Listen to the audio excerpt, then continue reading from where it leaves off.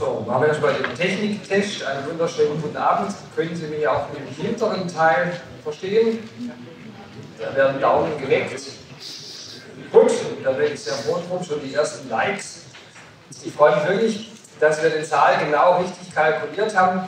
Wenn man 77.000 Briefe verschickt, dann würde ja bei einer Quote von 1% bereits ein Saal mit 770 Personen erforderlich. Wir haben einen mit etwa 300 gebucht und der ist jetzt ziemlich genau gefüllt. Also Punktlandung heißt aber auch, die Beteiligung in Form physischer Präsenz beträgt 0,5 Prozent. Und so haben wir in der Vergangenheit auch immer Bürgerversammlungen gemacht. Ich erinnere mich an eine, bei der ging es um einen Saal für Tübingen, nämlich hier nebendran, der sogenannte Karl-Schlecht-Bau. Da sind wir in die Kreissparkasse gegangen, es waren dann sagen wir, 500 Leute im Saal, ein bisschen mehr als heute. Aber die 500 waren im Wesentlichen die, die die Stimmung, unter anderem für mich als beteiligten Entscheider, aber vor allem für Karl Schlecht, der da sich angeschaut hat, will den Tübingen jetzt meine Investition oder nicht, repräsentiert haben. Und ich habe damals gefragt, die 500 Anwesenden, sollen wir diesen Weg weitergehen oder nicht? Und dann war die Hälfte dafür und die Hälfte dagegen. Und für den Investor Karl Schlecht war das äh, die Ansage, wenige Tage später das Projekt zu stornieren, weil er gesagt hat, ich möchte nicht so viel Geld für ein Projekt ausgeben, das die Hälfte der Bürgerinnen und Bürger gar nicht will.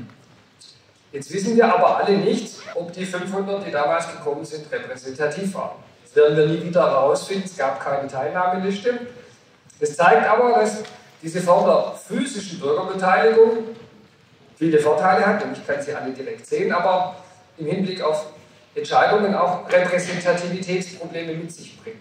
Ich bin so dreist, Ihnen das aber mit einem konkreten Experiment hier im Saal zu zeigen. Statistisch gesehen sind wir Tübinger die jüngste Stadt in Baden-Württemberg. Der Altersschnitt liegt bei etwa 41 Jahren. Ich frage jetzt äh, hier einfach mal im Saal, wer von Ihnen ist 41 oder jünger? Bitte Hand hoch. Hm? Also ich komme jetzt da, wenn es hochkommt, auf 5% der Anwesenden. Ja? ja, da sind sogar welche im Alter von 10 hier, das ist schön.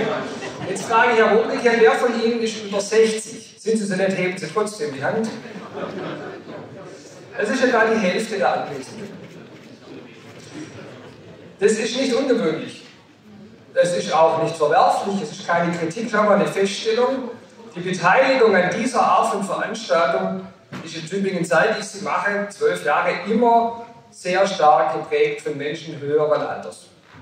Die kommen gerne, die diskutieren gerne, die wollen mitbestimmen. Man kann eigentlich nur sagen, schade, dass die Jüngeren es nicht tun. Aber wir müssen trotzdem festhalten, so ist es. Bei der Stadtbahnveranstaltung war es nicht anders. Da wurde mir das auch schon als Kritik ausgelegt. Ist es nicht einfach mal nur eine Feststellung. So, und was hat es mit unserem Thema zu tun? Mit dem äh, Saal und dem Bad erstmal nichts, aber mit dem Thema Einwohnerbefragung sehr viel. Denn mein Part ist es Ihnen heute kurz am Anfang zu erläutern, was wir vorhaben. Danach kommen die inhaltlichen Parts über Saal und Bad. Aber am Anfang steht, was haben wir vor? Und wir haben vor, als erste Stadt in Deutschland, es gibt 11.000 Kommunen in Deutschland, als erste Stadt in Deutschland eine Befragung aller Einwohnerinnen und Einwohner da durchzuführen, wo heute die Meinungsbildung für den Großteil der Menschen stattfindet, nämlich auf dieser Benutzeroberfläche. Die gibt es in größer oder kleiner, aber im Wesentlichen nehmen wir heute Informationen über diesen Weg auf. Und deswegen findet dort auch ein Großteil der Meinungsbildung statt. Vor 20 Jahren war das Stift und Papier und die gedruckte Tageszeitung. Immer mehr ist es das Tablet und das Smartphone.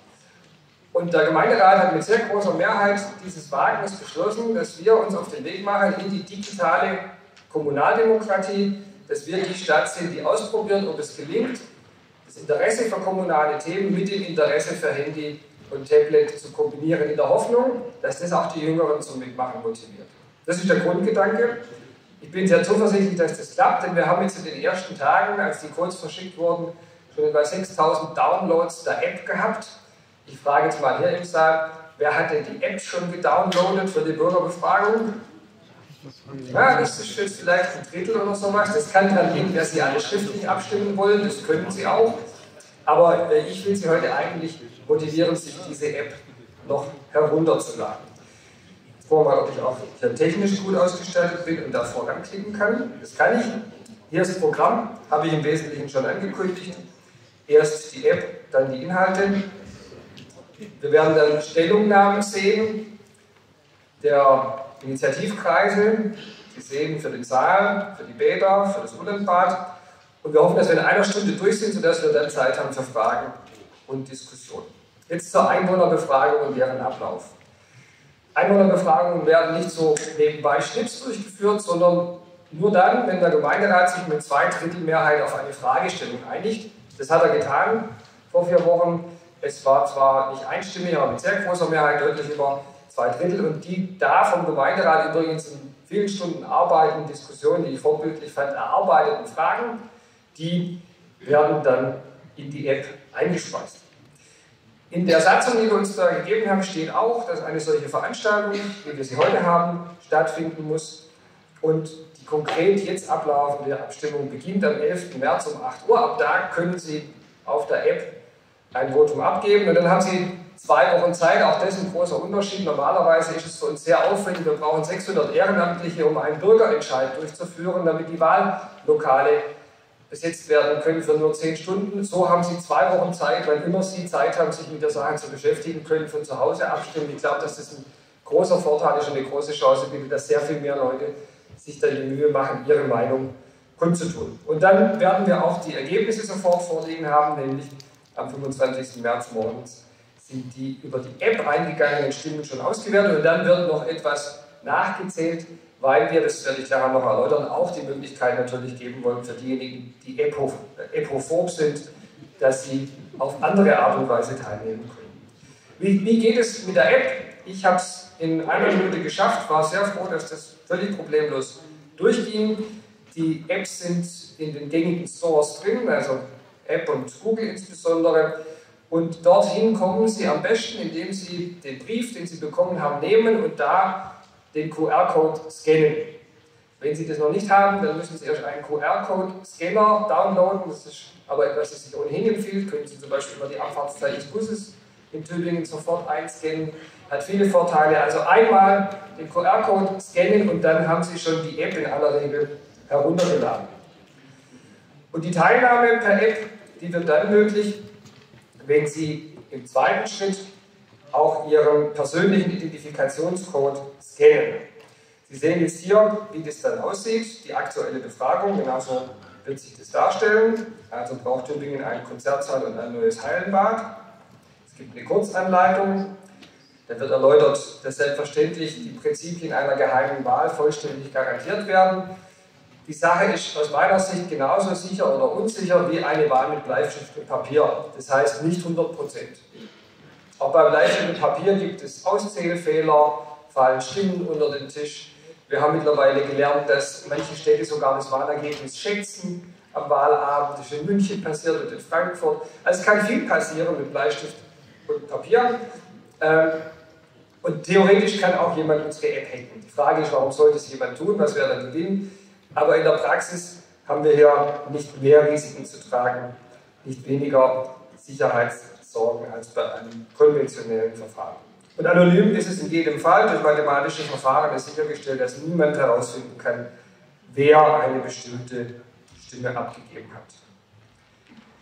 So sieht es dann aus, wenn Sie die App downgeloadet haben und den persönlichen Code eingeben sollen. Also der, mit dem sichergestellt wird, dass nur auf einmal abgestimmt werden kann. Der große Unterschied zu klassischen Internetbefragungen ist, da können Sie ja oft zehnmal abstimmen. Und möglicherweise hat zum Beispiel ähm, schon mal irgendein Verein bei einer Tagblattumfrage eine Rundmail geschickt an die Mitglieder, Achtung, Tagblattumfrage, bitte alle teilnehmen. Und dann klickt man fünfmal drauf, damit das Tagblattergebnis in die eigene Richtung geht. Kein Mensch kann das nachvollziehen, niemand weiß, wie es zustande kommt. Das ist hier ausgeschlossen. Eine Person, eine Stimme. Und wenn Sie dann den Scanner der App, der ist in der App einprogrammiert, auf den Code halten, dann holt sich die App die Daten und ab da sind Sie, hier steht es nochmal, bitte benutzen Sie die App der Kamera, ab da sind Sie freigeschaltet. Dieser Prozess sollte nicht mehr als ein bis zwei Minuten dauern. Und das Schöne ist, dann haben Sie das für immer. Sie müssen das nicht bei der nächsten Befragung wieder machen, sondern das können Sie dann die nächsten zehn Jahre weiter benutzen, müssen Sie da nicht drum kümmern. Sie haben Ihre Abstimmungs-App und Ihren Code Und wenn eine Abstimmung ansteht, kommt eine Nachricht auf Ihr Handy, Achtung, Abstimmung. Sie versäumen also auch keine mehr. Und sind Sie zufällig gerade im Urlaub auf Mallorca, können Sie trotzdem abstimmen. Viele Vorteile, glaube ich, die durchaus interessant sind. Also Freischaltung erfolgreich, dann kommt die Frage, da gibt es den Hinweis, wann es losgeht und bei Details, was Sie hier blau sehen, da finden Sie dann viele weitere Informationen. Mehr Informationen heißt der Button ganz unten. Auch diese Informationen sind alle mit dem Gemeinderat abgestimmt, die wurden jetzt nicht Wort für Wort äh, vom Gemeinderat erarbeitet und der Gemeinderat hat diese Informationspakete so genehmigt, sodass Sie sich also darauf verlassen können, weil auch im Gemeinderat ja durchaus unterschiedliche Positionen zu diesen Sachfragen vorhanden sind, dass das eine faire, ausgewogene Sachdarstellung ist, die Ihnen da präsentiert wird. Äh, es ist jetzt nicht so programmiert, dass Sie nur abstimmen dürfen, wenn Sie sich vorher informieren. Das wäre eigentlich richtig, ja, aber wir fürchten, dass das dann wieder Wahlbeteiligung kostet. Sie können also auch alle Informationen ignorieren, weil Sie genau wissen, was richtig ist und sofort abstimmen. Kann man ja im Wahllokal auch, warum soll das bei der App dann verboten sein? Und dann kommen die entsprechenden Fragen. Wie stehen Sie zum Bau eines neuen Hallenbads? Da steht wieder bei mehr Informationen, wenn Sie es doch wissen wollen, der Button, wo man weitere Infos bekommt. Da lesen Sie jetzt einen solchen Text, so einen Erläuterungstext. Ähm, die Frage hier lautet, wie denken Sie über den Erhalt des Ulandbads als Bad, wenn ein größeres Hallenbad gebaut wird? Und dann sehen Sie die Antwortoptionen. Da ist jetzt eine Antwortoption gewählt. So sieht es dann aus. Ihre Antwort, wenn Sie die gewählt halten, das ist mir eher wichtig zur Frage 1. Und dann gehen Sie diese fünf Fragen, die wir gestellt haben, durch. Am Ende schicken Sie das Ganze ab. Dann kommt dieses Bild, Teilnahme erfolgreich. Das sollte noch niemand von Ihnen gesehen haben, weil es geht ja schon am 11. März los. Aber so sieht es dann aus, wenn Sie Ihre Voten abgeschickt haben.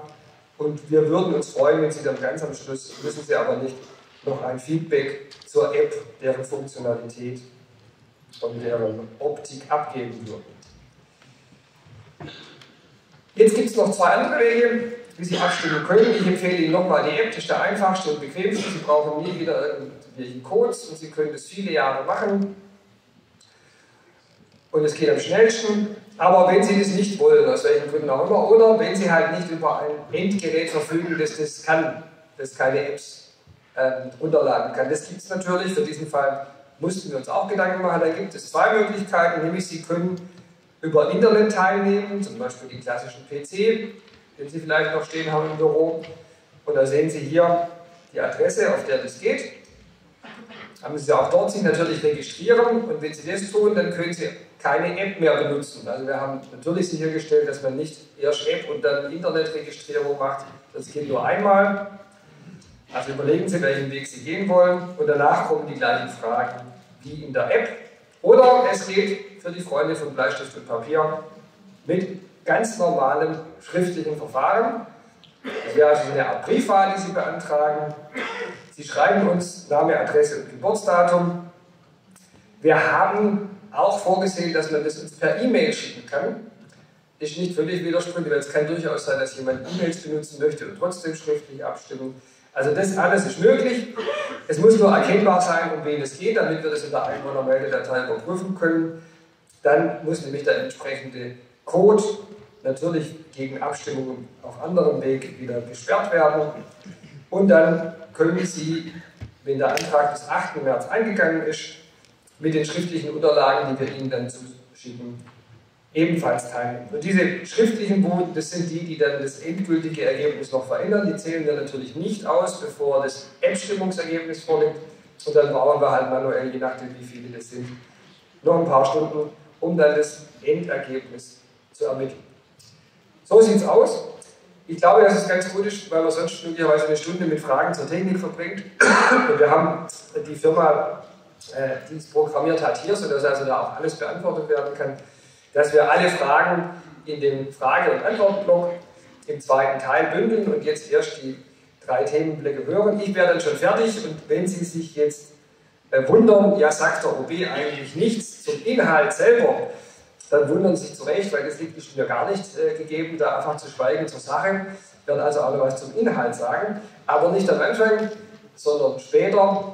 Und ich sage es jetzt mal so, jetzt habe ich Ihnen als Oberbürgermeister meine Überzeugung vorgestellt, dass wir mit dieser App einen großen Schritt für unsere Demokratie nach vorne gehen können, dass wir die Unterstützung und Akzeptanz der kommunalen Demokratie fördern können. Und ich halte es für wichtig, weil wir alle wissen, dass die Kommunen die Keimzelle der Demokratie sind und es sollte völlig unabhängig vom Ausgang der Abstimmung selber für mich im Zentrum stehen. Als Oberbürgermeister bin ich also bereits fertig, aber als Finanzbürgermeister, da muss ich nachher noch was sagen. Vielen Dank für Ihre Aufmerksamkeit und damit gebe ich weiter an die Bürgermeisterin Dr. Daniela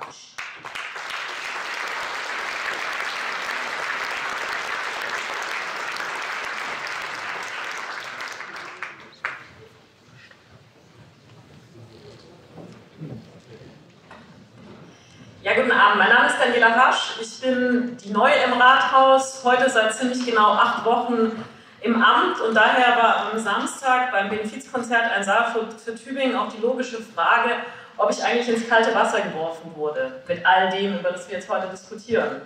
Und die Antwort ist ja, weil es hat ziemlich viel mit kaltem Wasser zu tun, über das wir jetzt diskutieren. Und zwar ist Ausgangspunkt für all das, was wir jetzt heute und die nächsten Wochen diskutieren werden und worüber wir abstimmen werden, die Frage, haben wir genügend Schwimmflächen in Tübingen? Und die Antwort ist nein.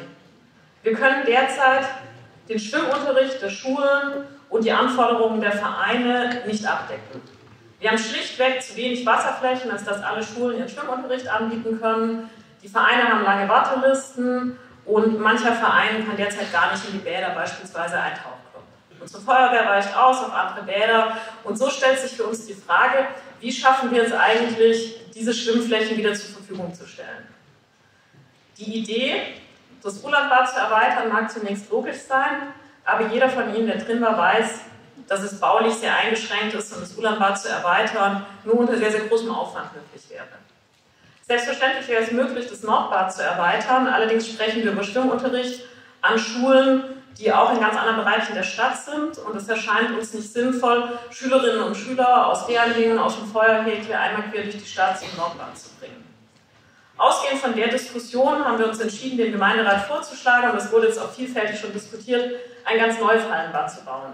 Das ist das, was wir derzeit oft unter dem Namen Südbad diskutieren. Also irgendwas, was hinten in Richtung Freibad. Also wo genau Süden ist, das kann man noch diskutieren, aber in etwa dort hinten. Ich weiß, dass es über Süden auch unterschiedliche Anforderungen gibt, aber irgendwo in den Süden zu gehen und ein neues Hallenbad zu bauen.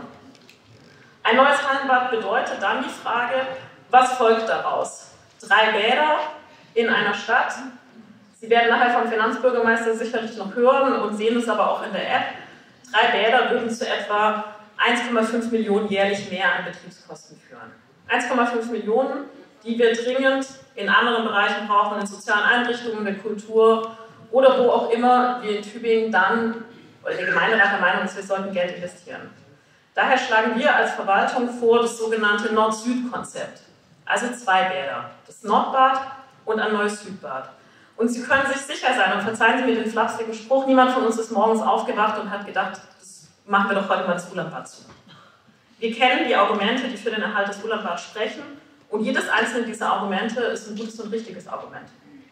Für uns stellt sich aber die Frage, was ist das, was wir kommunal stemmen können und was ist das, was wir für sinnvoll empfinden. Und daher schlagen wir als Verwaltung, haben dem Gemeinderat vorgeschlagen, eben ein neues Bad im Süden zu bauen.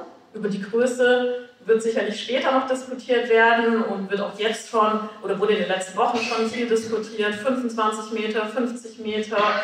Inwieweit muss ein Leerschwimmbecken noch rein mit Hubbooten und einer bestimmten Wärmetemperatur, dass es eben auch für Menschen mit Erkrankungen genutzt werden kann.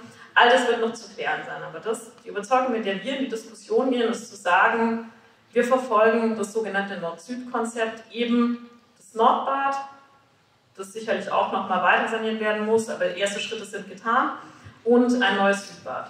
Und ausgehend von dieser Diskussion zu sagen, wir haben zu wenig Schwimmflächen für unsere Schülerinnen und Schüler, zu wenig Schwimmflächen für die Vereine und natürlich für all diejenigen, die außerhalb von Schule und Verein noch schwimmen gehen wollen, überlegen wir dann, was passiert mit dem Ulandbad.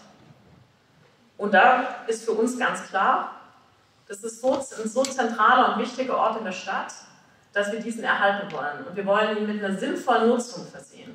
Und daraus entstanden ist dann der Ansatz zu sagen, können wir nicht diese zwei Großprojekte der Stadt, die wir derzeit diskutieren, eben ein neues Hallenbad und die Frage eines Konzertsaals so miteinander verbinden und prüfen, ob der Konzertsaal, es liegen ja auch, es liegt die Machbarkeitsstudie vor, die verschiedenste Anforderungen hat und wir sind da auch mit dem Verein an Saalfeld Tübingen in der Diskussion, prüfen wir doch, ob es möglich ist. Und zwar nicht im Bad, sondern das Bad als Foyer zu nutzen und den eigentlichen Saal daneben zu bauen.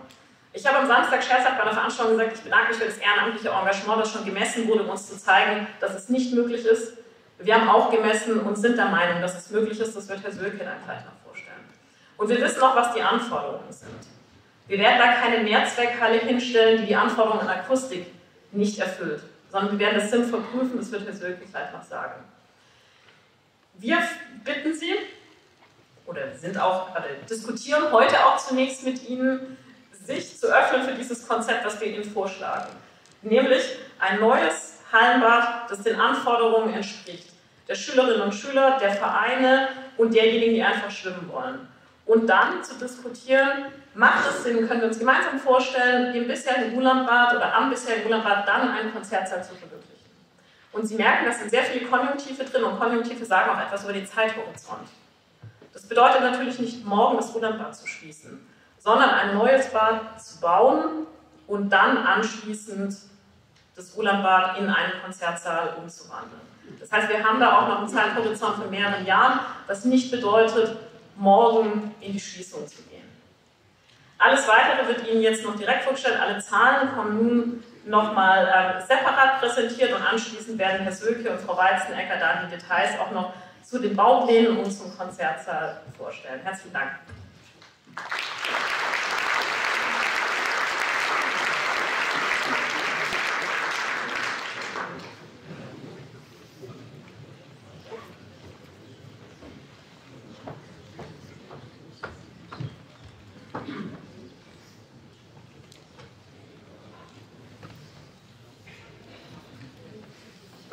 Ja, schönen guten Abend, meine Damen und Herren. Ich sehe, die erste Technikteil funktioniert schon, nämlich das Mikrofon.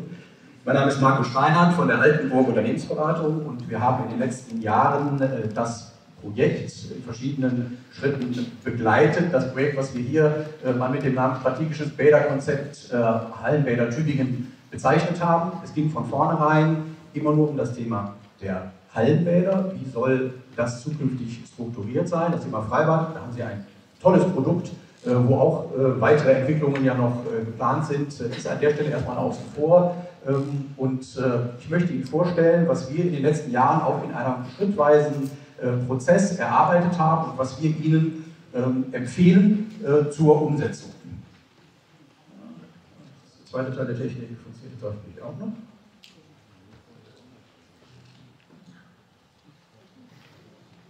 Noch nicht, aber wir sind geduldig noch nicht. Wir werden zunehmend ungeduldig. Bitte? Ja, nur die Zurücktaste funktioniert ja nicht so gut. Deswegen bin ich immer erpicht, dass diese Dinger funktionieren. Versuchen Sie nochmal. Die Generalprobe war erfolgreich, das ist immer schlecht.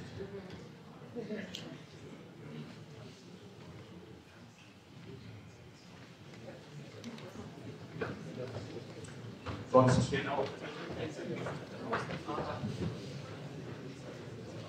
Also, wir starten schon mal. Und zwar möchte ich äh, nicht versäumen, ich habe mich persönlich vorgestellt, aber auch das Unternehmen vorzustellen, für das ich äh, heute hier stehe. Die Altenburg Unternehmensberatung ist 1994 gegründet worden die beiden Geschäftsführer, äh, der eine bin ich, der Altenburg ist Geschäftsführer der Gesellschafter. Wir sind seit 25 Jahren dabei, das heißt, wir machen das wirklich jetzt äh, eine sehr lange Zeit, was natürlich dazu führt, dass wir über erhebliche Erfahrungen äh, verfügen in der Zwischenzeit. Wir sind fachspezifisch unterwegs. Das heißt, wir beraten nicht heute mal eine Bank und zwischendurch haben wir auch noch mal ein Hallenbad beraten, sondern unsere Beratungsschwerpunkt ist ganz klar die Beratung kommunaler Sport- und Freizeitseinrichtungen insbesondere Bäderbetriebe. Wir machen alleine so 30 bis 40 Bäderprojekte äh, pro Jahr, also das ist wirklich unser Leib- und Magenthema. Wir sind keine Architekten. Wir sind keine Badbetreiber. Wir verdienen also nicht daran, dass Sie ein möglichst großes oder ein möglichst kleines Bad bauen. All das ist nicht unser Interesse, sondern äh, wir möchten Ihnen als objektive Sachverständige äh, ein, ich sag mal, vernünftiges Konzept vorstellen, was die Bedarfe für Tübingen, und zwar nicht nur für Tübingen heute, sondern für Tübingen in den nächsten 15, 20, 25 Jahren, weil so ein Bad steht so lange, was das wirklich ähm, abdeckt.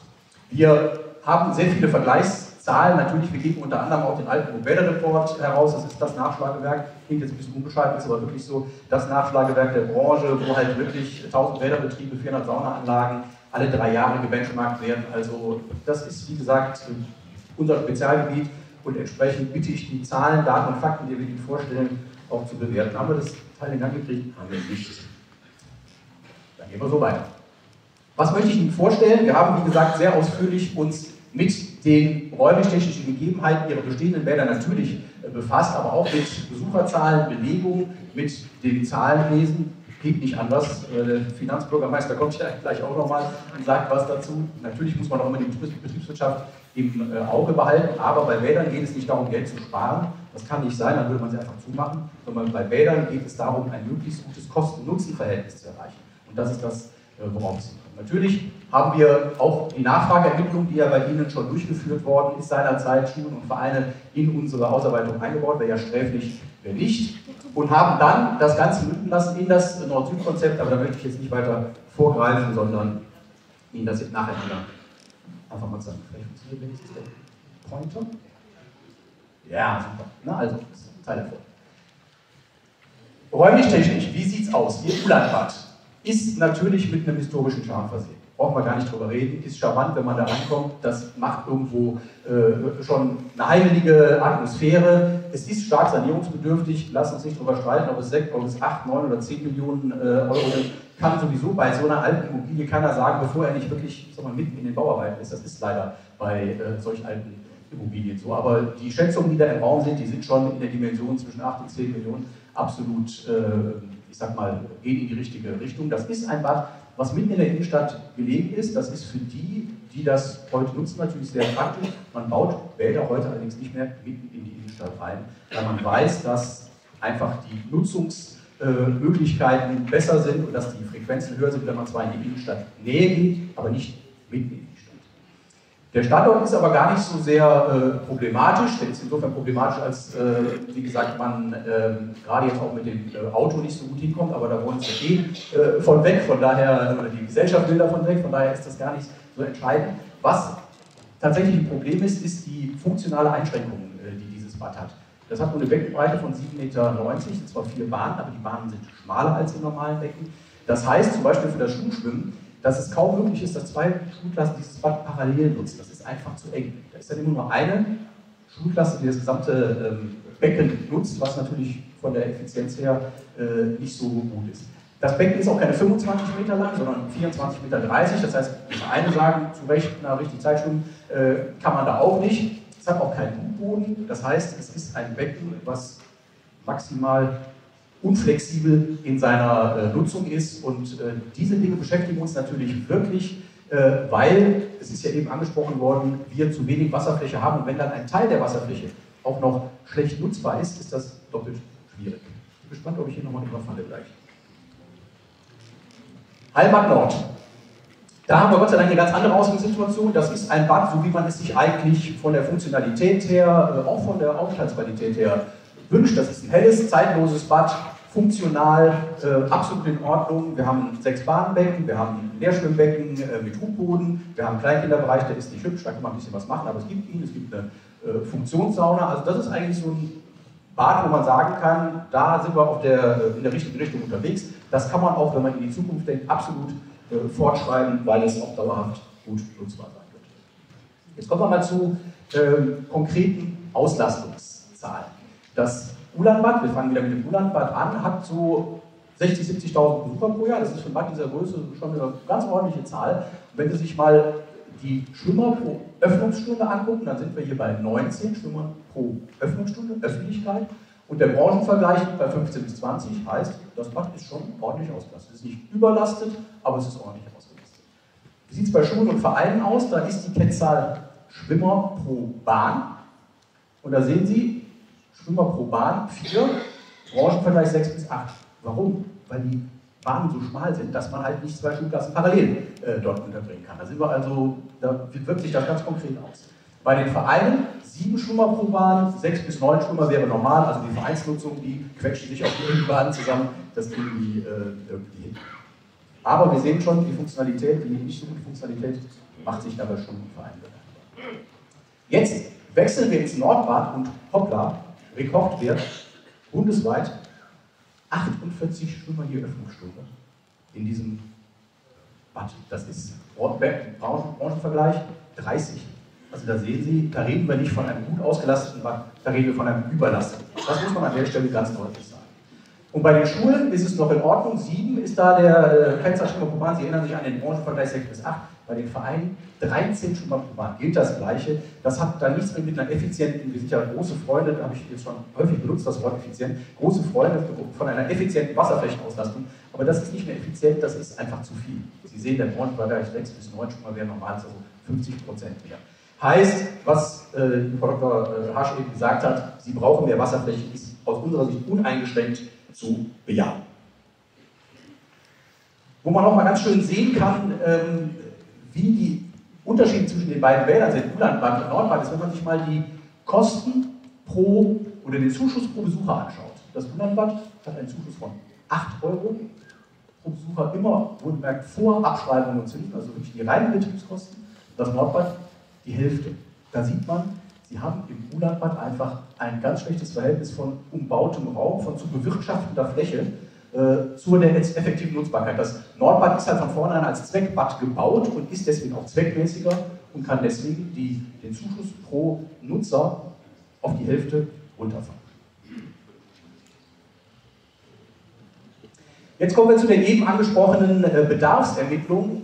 Es ist gefragt worden, jetzt hier für die Schulen, wie wird denn äh, der Bedarf an Schulschwimmen sich entwickeln. Und Sie sehen, dass wir aktuell, das ist immer die Kennzahl, mit der man agiert, die Bahneinheiten pro Woche, also praktisch Bahnen pro Stunde und das aufaddieren auf die gesamte Woche. Da haben wir aktuell 420 Bahnen pro Woche. Und der angemeldete Bedarf, der schon das Bevölkerungswachstum, was ja bei Ihnen erfreulicherweise zu verzeichnen ist, berücksichtigt, der geht auf 642, heißt, wir haben eine Steigerung von 53 Prozent zu erwarten. Das ist eine deutliche Steigerung, aber, mein Gott, wir haben eben gehört, Sie haben im Moment auch, äh, Sie kriegen die Schule nicht alle runter. Jetzt muss man das ja mal durchaus in einen Branchenvergleich äh, setzen.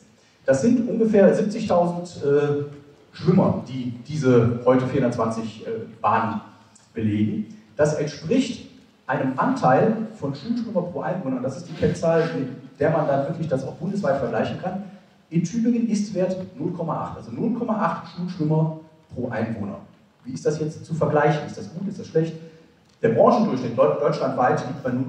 Das heißt, sie sind heute schon viel besser oder sie haben eine viel höhere Schulnutzung, als das in Kommunen üblich ist. Der Spitzenwert, den wir in der Beratung angetroffen haben, also wirklich jetzt nicht irgendwo theoretisch, sondern ganz praktisch in der Beratung von hunderten von Bädernprojekten, lag bei 0,9 Schulschwimmer pro Einwohner. Da sind sie schon fast dran. Also sind heute schon wirklich fast an dem Spitzenwert dran. Die Bedarfsanmeldung liegt bei 1,1. Das heißt, Ihr Bedarf, wenn Sie den tatsächlich so umsetzen würden in der Zukunft, dann wären Sie neuer Spitzenreiter. Ist ja noch nicht umgesetzt, aber der Bedarf, wenn Sie den umsetzen würden, dann wären Sie neuer Spitzenreiter. Das heißt, Sie würden bei, äh, sagen wir mal, 90.000, 95.000 Einwohnern dann 100, 105.000 Schulschwimmer in ihre Bäder kriegen. Das wäre großartig, weil es einfach bedeuten würde, dass ganz viele, eigentlich nämlich jeder von der ersten bis zur siebten Klasse in, jedem, jeder äh, Schulklasse Schwimmunterricht gegeben werden kann. Das ist wirklich äh, der Plan. Dazu muss man auch die Lehrkräfte haben, dazu muss man Buskapazitäten haben und so weiter. Aber das ist der Plan, der dahinter steht. Sie werden, wie gesagt, dann von der Versorgung her absoluter Spitzenreiter. Wie sieht es bei den Vereinen aus? Die Vereine haben heute, ich gehe mal auf die, ähm, auf die Summenwerte hier, die Vereine haben heute 153 Bahneinheiten und haben angemeldet 391 Bahneinheiten. Das heißt, das ist eine Steigerung um 156 Prozent oder anders gesprochen, zweieinhalb Mal so viel Nachfrage wird dort angegeben als Bedarf zu dem, was man heute hat. Wir haben gehört, es gibt heute Nachfrage, die schon ausgelagert ist in andere Kommunen. Sie haben Bevölkerungswachstum Trotzdem ist es natürlich eine gewaltige Steigerung und deswegen haben wir auch hier mal gesagt, wie ist denn das im Branchenvergleich? Auch da wieder die äh, Kennzahl Vereinsnummer pro Einwohner. Der Istwert in Tübingen liegt bei 0,6, das sind ungefähr 50.000, 55.000 Vereinsnummer. Der Branchendurchschnitt ist bei 0,4. Sie liegen also heute schon über dem, was üblicherweise an Vereinsstimmen in einer Kommune ihrer Größe zu erwarten wäre. Der Spitzenwert, den wir in der Beratung mal gemessen haben, war 1. Das heißt, würde bei Ihnen heißen, 90.000 Einwohner, 90.000 Vereinsstimmer. Das wäre der absolute Spitzenwert, den wir gemessen haben. Der Bedarf, der jetzt hier in Tübingen angemeldet ist, liegt bei 1,3. Das heißt, Sie müssen weit über 100.000 äh, Vereinsstimmer realisieren. Dafür braucht man Wasserflächen, die kann man ja bauen. Dafür braucht man natürlich äh, Tra Training, Trainer, äh, also die das dann auch entsprechend beaufsichtigen. Und, meine Damen und Herren, dafür braucht man auch Nachfrage. Diese Nachfrage, das sagen wir ganz offen, die sehen wir nicht. Wir wissen nicht, wo die Nachfrage herkommen soll, dass man wirklich 120, 130.000 Vereinsstimmer bei allem Engagement, was ich hier gar nicht abschreiben will, das wäre, wie gesagt, das wäre so deutlich über dem, was wir irgendwo mal kennengelernt haben.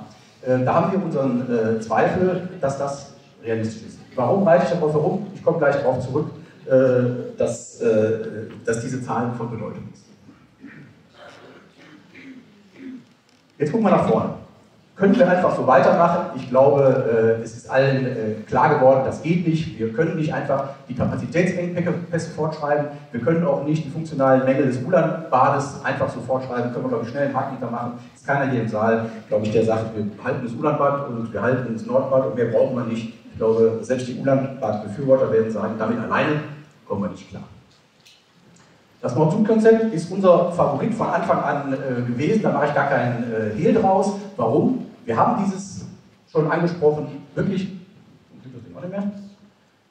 wir haben äh, das angesprochene äh, Hallenbad Nord, was auch einen erheblichen Sanierungsbedarf hat, aber das lohnt sich. Wir schlagen ganz klar vor, bauen Sie ein Hallenbad Süd und schaffen Sie alle Kapazitäten, die Sie brauchen.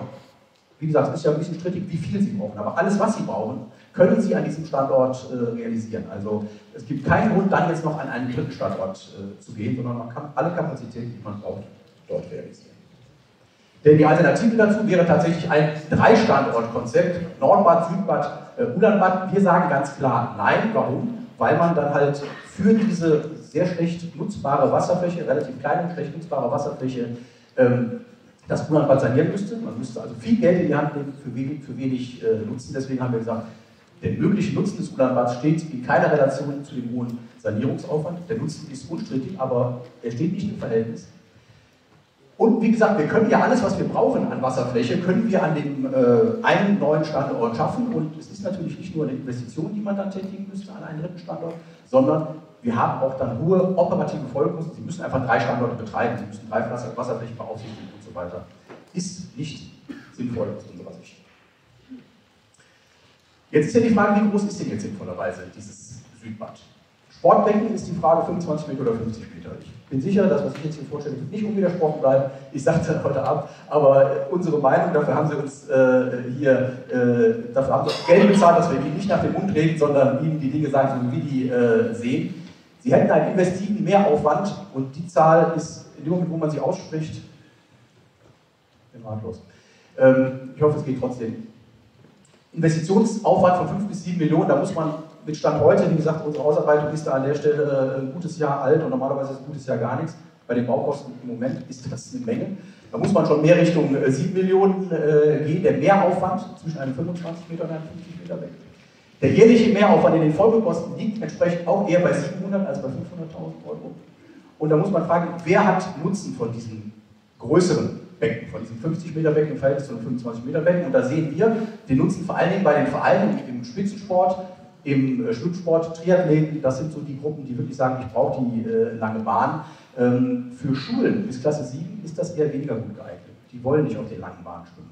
Die wollen auch nicht in so einer riesigen Badehalle schwimmen. Versuchen Sie mal einem äh, Lehrer klarzumachen, dass er mit fünf oder, sechs, dass fünf oder sechs verschiedene Gruppen in einer Badehalle gleichzeitig Schwimmunterricht machen. Da werden die Lehrer sagen, das funktioniert nicht. Das ist auch unsere Erfahrung. Für Familien mit Kleinkindern ist so ein Riesenbecken auch eher abschreckend. Sind heute leider wenig da, aber trotzdem muss man deren Interessen ja auch ähm, berücksichtigen. Also unter Kosten- und Nutzen-Gesichtspunkten kann das nicht äh, empfohlen werden. Nur um mal ein Beispiel zu äh, nennen, für 500.000 bis 700.000 Euro, dafür können Sie, ich sag mal, zwei Dreifachtournhallen bauen und betreiben. Also es ist nicht so, dass das irgendwo ein kleiner Betrag ist, der entsteht ja nicht einmalig, sondern er steht jedes Jahr, jedes Jahr, jedes Jahr. Also klare Empfehlung unsererseits, 25 Meter Becken. Und dann die Frage, sechs Bahnen oder acht Bahnen? Da könnte man ja auch sagen, okay, das Nordbahn ist doch schön mit seinen sechs Bahnen, lass uns doch mit der Größe bleiben. Nein, wir möchten ganz bewusst auf Achtbahn oder unsere Empfehlung ist ganz klar, gehen Sie auf Achtbahn. Man kann dann die Zielgruppen noch besser äh, parallel äh, die Wasserfläche nutzen lassen. Wir brauchen auch diese zusätzliche Wasserfläche. Wir haben eben gesehen, wie viel, wie viel Wasserfläche zu wenig wir haben. Deswegen sind wir der Meinung, gehen Sie auf Achtbahn, Springerbereich integrieren und wenn man dann parallel springt, also den Springerbereich öffnet, dann sind ja schon drei, vier Bahnen weg und dann hat man aber immer noch vier Bahnen daneben, äh, die man nutzen kann. Auf jeden Fall bitte Teilboden da rein in dieses Becken, damit man dann auch dort nicht Schwimmunterricht äh, stattfinden lassen kann. Ein reines Schwimmerbecken, äh, was jetzt immer eine Wassertiefe von mindestens 1,30 oder so 1,80 hätte, macht keinen Sinn. Wasserflächen immer so multifunktional, wie es irgendwie geht, und das kriegen Sie über den U-Boden hin. Leerschwimmbecken. Der meist unterschätzte Beckentyp überhaupt sind Leerschwimmbecken. Die sind so wichtig und sind so klasse, weil auf relativ wenig Wasserfläche unheimlich hoher Nutzen realisiert werden kann. Da können die Schulen rein zum Schwimmunterricht perfekt, die Vereine können rein zum Schwimmen lernen perfekt, die warmen Bader in Anführungszeichen, um Gottes Willen, ne? also nichts mit warmen Duscher zu tun, sondern die einfach gerne ein bisschen wärmeres Wasser haben, die haben dann die ganze Zeit parallel, während im Sportbecken 26, 27, 28 Grad sind, kann man da die ganze Zeit 30 Grad warmes Wasser fahren. Ein Tummelbecken am Wochenende für Familien, also das ist das am besten ausgelastete Becken überhaupt. Äh, deswegen äh, Lehrschulbecken, äh, ganz große Klasse, zumal man zusätzlich auch noch in dann verbleibenden Zeiten Kurse dort durchführen kann, weil wir immer sagen, ein solches äh, ähm, Lehrstückbecken muss auch räumlich separierbar sein. Das heißt, ich muss dann auch eine Tür zumachen können dann kann ich da ein bisschen Musik machen. Dann machen wir da Aquazumba oder Aquacycling oder was auch immer, während in dem Sportbecken ganz normaler Betrieb stattfindet. Kapazität eines solchen Beckens 16 2 Drittel mal äh, 8 Meter, natürlich auch dort wieder ein Hubboden rein, äh, weil wir das auch wieder multifunktional haben. Braucht man denn dann, wenn man im Nordbad ein Kleinkinderbecken hat, braucht man denn dann in dem Südbad auch noch ein Kleinkinderbecken? Auch da sagen wir ja, bitte, weil wir möchten das Angebot für junge Familien, das sind ja die Schwimmer der Zukunft, die müssen wir ja ans Wasser ranführen, die kleinen Kinder. Das möchten wir so niederschwellig wie möglich haben. Da müssen wir nicht sagen, dafür musst du aber ans andere Ende der Stadt, wenn du im Süden wohnst, sondern da soll es ruhig die Möglichkeit geben, im Norden ein vernünftiges Kleinkinderbecken zu haben, im Süden auch. Also auch das neue Südbad bitte mit Kleinkinderbecken. Welche Öffnungszeiten würde denn ein solches Südbad haben? Vielleicht der eine oder andere jetzt enttäuscht sein und wird sehen, das Ulanbad heute hat 54 Öffnungsstunden und wir würden das Neubad nur 62 Öffnungsstunden aufmachen, also gar nicht so viel mehr. Das ist aber äh, ein Irrtum, weil in diesen 62 Öffnungsstunden haben wir natürlich dadurch, dass das Bad viel größer ist, viel mehr Nutzungsmöglichkeiten. Ähm, also wir haben 263 Bahneinheiten mehr das Ulanbad äh, hat heute 216 Bahneinheiten und wir haben mehr als doppelt so viele Bahneinheiten für die Öffentlichkeit in diesem äh, neuen Bad. Also lassen Sie sich nicht stören davon, dass nur in Anführungszeichen acht Öffnungsstunden mehr sind. Es ist viel mehr Nutzungsmöglichkeit in diesem neuen Bad für die Öffentlichkeit. Um mal so ein bisschen zu zeigen, wie das wasserflächenmäßig äh, aussieht, das ist jetzt das neue äh, das ist das Ulanbad, 192 äh, Quadratmeter Wasserfläche. Das ist das Südbad. Ich glaube, es wird deutlich, wir haben hier nicht einfach nur ein Bad durch ein anderes Bad ersetzt. Ich hoffe, das geht jetzt mit zurück. Ja, geht. Sondern wir haben hier eine Verdreieinhalbfachung der Wasserfläche. Dieses Becken, also die drei, also das wäre ungefähr jetzt das Ulandbad, das ist das 8 Bahnen 25 Meter Becken. Das ist das Leerschwimmbecken, das ist alleine schon zwei Drittel so groß wie, wie das Ulandbad. Das ist aber die ganze Zeit auf 30 Grad. Wir haben hier noch Dampfbad mit äh, dabei in einer großzügigen Dimension, was auch gerade bei Eltern, aber am Wochenende auch bei Familien sehr beliebt ist. Wir haben das Kleinkinderbecken, wir haben einen Springerbereich, das ist dieses Grüne da oben. Ich bitte die äh, äh, grobschnittartige äh, äh, Darstellung zu entschuldigen, aber ich glaube, es wird ganz deutlich, äh, über was wir reden. Also eine Verdreieinhalbfachung der Wasserfläche und vor allen Dingen ist das alles sehr, sehr gut nutzbar, weil hier ist eine Teilboden drin, da ist ein Vollboden drin. Also wirklich ein Bad der neuesten äh, Generation mit einer extrem viel größeren Wasserfläche, als das heute der Fall ist. Jetzt gucken wir uns zum Spaß mal so ein 50 Meter Becken an. Und Sie sehen, hoppla, das ist erstaunlicherweise doppelt so groß wie ein 25 Meter Becken. Äh, Ulanbad mal 6 haben wir dann jetzt hier. Das ist natürlich schon eine gewaltige äh, Dimension, wobei das selten dann äh, in dieser Form genutzt wird, sondern tatsächlich wird es meistens so genutzt, Sie sehen den Unterschied, da springt dieser dunkelblaue Balken hin und her, das ist nichts anderes als eine mobile äh, Startbrücke, die wird dann in die Mitte gefahren, da hat zwei 25 Meter Becken, A8 Bahnen. Jetzt komme ich nochmal darauf zurück, jetzt stelle ich mal Schulschwimmen in dieser Halle vor. Hier drei Schulen, da drei Schulen, da eine Schule, macht kein Lehrer mit. Sind Lehrer da? Keine. also ist viel Wasserfläche, aber ist von der multifunktionalen Nutzbarkeit her äh, dann doch schwierig. Was passiert jetzt, wenn wir uns die Bahneinheiten, Sie haben sich ja an diese Begrifflichkeit hoffentlich inzwischen schon ein bisschen gewöhnt, wenn wir das jetzt mal äh, abgleichen. Wir haben hier nochmal das Ist. Wir kommen hier nochmal erst auf die Schulen. Die Summe der Schulen Ist war 420. Die Summe im Konzept sind 670. Das heißt, wir haben eine Steigerung, eine Steigerungsmöglichkeit von knapp 60 Prozent zu heute. Das ist noch nicht ausgereizt. Wir könnten noch an anderen Tagen mehr Schule da reinlegen. Haben wir gesagt, mehr brauchen wir nicht. Wir haben hier mit einer Steigerung von 60 Prozent den Bedarf aus unserer Sicht abgedeckt. Bei den Vereinen ist es so, dass wir heute die 153 Nutzungseinheiten haben und wir kommen Summe Nordbad und Südbad zukünftig auf 288 Einheiten. Das heißt, wir haben eine Steigerung von 90 Prozent. 90 Prozent mehr Nutzungseinheiten für die Vereine im Vergleich zu heute. Aber wenn man das jetzt mit der ja, wenn wir das mit der bin auch so gut wie durch. Wenn wir das mit der Bedarfsanmeldung äh, vergleichen, dann ist es so, dass die Schulen nur 4% Abweichungen haben zur Bedarfsanmeldung, während die Vereine ihren Bedarf von 392 Einheiten nicht erfüllt sehen. Also diesen von mir eben ja als sehr, sehr hoch auch angemeldeten Bedarf, den kann man tatsächlich äh, nicht erfüllen mit dem 25-Meter-Konzept. Äh, Allerdings sehen wir mit der von uns äh, hier vorgeschlagenen Variante äh, den realistischen Bedarf absolut abgedeckt. Ich habe, weil die Frage ja sicherlich kommen wird, hier auch nochmal äh, das 50-Meter-Becken äh, im Vergleich. Da würden wir dann die Schulen um 34 Prozent übererfüllen, wir würden die Vereine um 20 Prozent übererfüllen und würden insgesamt den, ich sage es nochmal, aus meiner Sicht zu hoch angemeldeten Bedarf immer noch um 30 Prozent übersteigen. Das wäre dann halt die Konsequenz des 50 Meter. Dem Ganzen muss natürlich die Wirtschaftlichkeit gegenübergestellt werden. Äh, das Nord-Süd-Konzept ist mit erheblichen Investitionen verbunden. Hallenbad Nord ist die aktuelle Schätzung um die 11 Millionen, Hallenbad Süd 15 Millionen, muss man heute schon sagen, plus X. Risikoaufschlag der Stadtwerke von 35 Prozent muss man heute einfach sehen. Äh, das wird für 15 Millionen nach heutigem Stand schon nicht mehr zu bauen sein. Aber unserer Berechnung liegt dieser Wert noch zugrunde und führt dann zu einer Gesamtwirtschaftlichkeit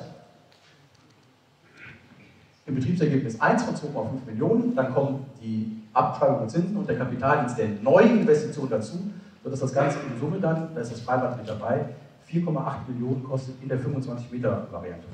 Sie liegen heute in der Bäderunternehmen bei 3 Millionen. Das heißt ungefähr 3 Millionen. Das heißt, die Steigerung von 3 auf 4,8 Millionen äh, ist erstmal ähm, so gegeben, aber wir sagen an der Stelle, das ist das, äh, was sinnvoll ist und da, sag mal, da müssen Sie gucken, wie Sie das stemmen. Wie gesagt, 50 Meter weg wäre dann ja nochmal aufzusehen. So, ich komme tatsächlich zum Ende. Aus unserer Sicht muss ganz klar sein, das Südbad ist nicht einfach nur ein Ersatz fürs Ulanbad, sondern das ist für von der Jungfamilie bis zum Seniorschul, Vereinsschule absolut multifunktional nutzbar. Wir können an dem Standort, der vorgesehen ist ja in der Region des Freibades, auch nochmal äh, in Betrieb äh, Synergien nutzen. Die Erreichbarkeit ist für den Süden Tübingens äh, wirklich und das südliche Umland wirklich gut. Damit ist dieses Nord-Süd-Thema erfüllt. Und schließlich und endlich, aus unserer Sicht, Nord-Süd-Konzept ist qualitativ wie quantitativ. Wenn man das mal mit, für eine Kommune der Größe Tübingens vergleicht, weit überdurchschnittlich und auch für die Zukunft absolut bedarfsgerecht für Bevölkerung, Schulen und Vereine. Deswegen unsere klare Empfehlung, gehen Sie auf das Nord-Süd-Konzept. Das ist teuer, das ist richtig aufwendig, aber äh, wir sagen, das ist das, was wirklich auf Dauer auch dem Wachstum Ihrer Kommune gerecht wird. Vielen Dank.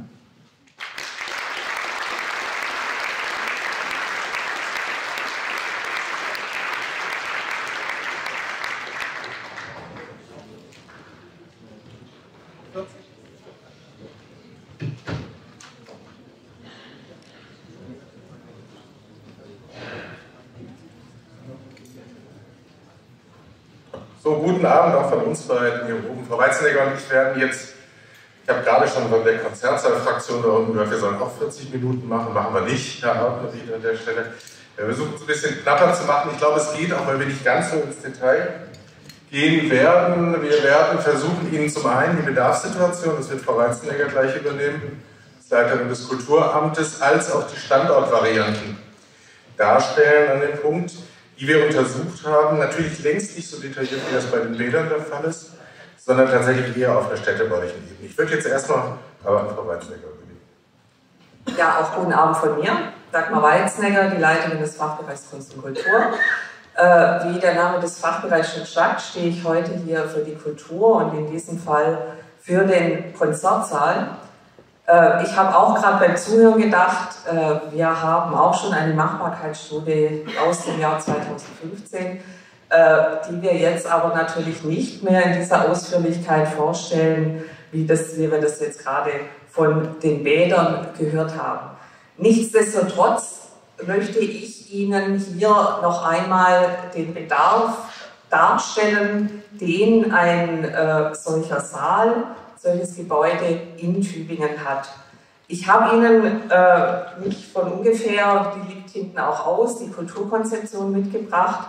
Die Kulturkonzeption, die im Jahr 2010, 11 begonnen wurde und äh, die sozusagen die Entwicklungsleitlinien für die Tübinger Kulturpolitik festgelegt hat.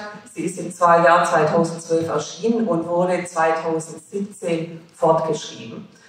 Äh, sie hat stattgefunden mit einem hohen Beteiligungsprozess, das heißt, es wurden mit allen Sparten, mit sehr vielen Kulturschaffenden, mit dem Gemeinderat wurden Gespräche geführt. Es hat auch eine Bürgerbefragung stattgefunden 2011. Und es wurde in allen Bereichen festgestellt, eine wesentliche Schwäche der Tübinger Kultur ist der Mangel an Räumen. Ja, für Veranstaltungen, für Konzerten, für Proben, aber auch für, für Ateliers, für vielerlei Elemente fehlt in Tübingen grundlegend die Infrastruktur. Und ein weiterer wichtiger Punkt, insbesondere fehlen Aufführungsmöglichkeiten für alle Sparten der Musik. Das heißt, nicht nur jetzt klassisch, nur in Anführungszeichen klassische Konzerte, genauso für den Jazz, für Musik, Theater, äh, für, wir hatten jetzt zwei Opernaufführungen, Wallander, Jomeni, also das fehlt uns hier grundlegend und auch, weil es jetzt gerade nochmal betont worden ist, hier im Bereich des Schulschwimmens, das sind natürlich auch Aufführungsmöglichkeiten, die fehlen für die zahlreichen Schulorchester, Chöre, aber auch für zum Beispiel für die Orchester der Musikschule, äh, auch verschiedene Musikschule. Also das ist nicht vorhanden. Und deswegen wurde meines Erachtens der, die Forderung nach einem Konzertsaal zu einem der Schwerpunkte der Kulturkonzeption ernannt. Wir haben drei Schwerpunkte. Es ist die Literatur, das äh, ist die kulturelle Bildung und der Infrastrukturschwerpunkt, der so vom Gemeinderat auch beschlossen worden ist, ist ein Konzertsaal. Es gab dann eine Machbarkeitsstudie, die in Auftrag gegeben wurde vom Gemeinderat 2014 und diese Machbarkeitsstudie 2015 dann erschienen hat den Bedarf an einem Konzertsaal nachhaltig bestätigt. Es wurde ähnlich vorgegangen. Es wurden die Bedarfe abgefragt, sowohl bei den Chören, bei den Orchestern, aber auch bei Konzertveranstaltern, bei äh, allen. Wir haben auch zahlreiche Musikfestivals hier. Auch das wurde überprüft. Und es wurde festgestellt, dass die vorhandenen kleineren Säle, die wir haben, wie zum Beispiel in dem Sie hier auch sitzen, der Museumssaal, äh, dass die äh, lediglich einen Bedarf bis maximal 200 Plätze decken. Und äh, die größeren Säle, wie der Festsaal der Universität 921 oder die Stiftskirche 1400 Plätze, die entsprechen nur eingeschränkt den Bedürfnissen an Größe und Ausstattung. Das heißt, ich nehme zum Beispiel, in der Stiftskirche kann nicht unbedingt jedes Konzert stattfinden, hat auch von der Ausstattung jetzt die, äh, äh, die Stiftskirche möchte vielleicht da kein Popkonzert haben, die Gemeinde. Und es ist natürlich auch von der Ausstattung, von der Bühnentechnik her zum Beispiel nicht ideal. Die Universität der Festsaal, das wissen Sie alle, das ist nicht einfach äh, zu bekommen und äh, ist hauptsächlich reserviert für Veranstaltungen der Universität und man muss auch, wenn man ihn anbieten will, einen dementsprechenden Preis bezahlen. Was war die Konsequenz damals? 2015 wurde das eigentlich bestätigt, dass der Bedarf vorhanden ist.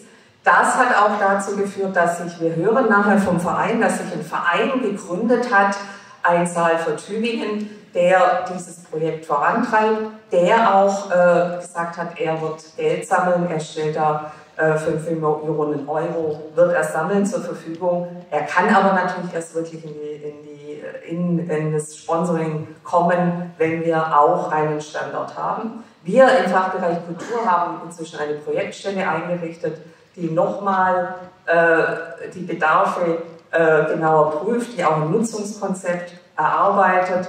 Das ist der, der Matthias Ehn, der auch hier ist, der unser Projektleiter für das Bachfest war und der aber auch dementsprechende berufliche Erfahrung schon hat, dass er das sehr gut beurteilen kann. Und es war jetzt das Stichwort Bachfest. Das Bachfest hat uns als einen der Veranstalter der Stadt nochmal darin bestätigt, dass uns eben diese mittleren, äh, die, diese Saalgröße, also zwischen 400 und äh, 650, dass uns das tatsächlich fehlt. Das hat sich im Bachfest bewahrheitet, das haben wir da gesehen. Ich habe hier nochmal geschrieben, das äh, ist mir ein wichtiges Anliegen. Wir haben als einen der Schwerpunkte äh, in der Kulturkonzeption die Literatur. Aber Tübingen war und ist schon immer eine Stadt der Musik. Eine lange Tradition, gerade auch der Kirchenmusik und eine beeindruckende, riesige Vielfalt. Der Herr Ehm hat sich gerade wieder dran gemacht, wirklich all, alle Orchester und Chöre aufzuführen. Wir kommen inzwischen auf fast 50 Orchester, nahezu 100 Chöre. Das sind zwar die, die Kirchenchöre, die Schulchöre und so weiter mit eingerechnet, aber das beruht auf einer breiten Basis, auf einer langen Tradition. Und es sind eben nicht nur die Chöre und Orchester, wir haben die Jazz- und Klassiktage als Musikfestival, wir haben die äh, den Jazzclub, wir haben äh, das Schiefklang Festival, wir haben äh, zahlreiche Musikfestivals und das Bachfest hat gezeigt, dass man, wenn man die nötigen Räumlichkeiten hätte, auch noch mehr veranstalten kann.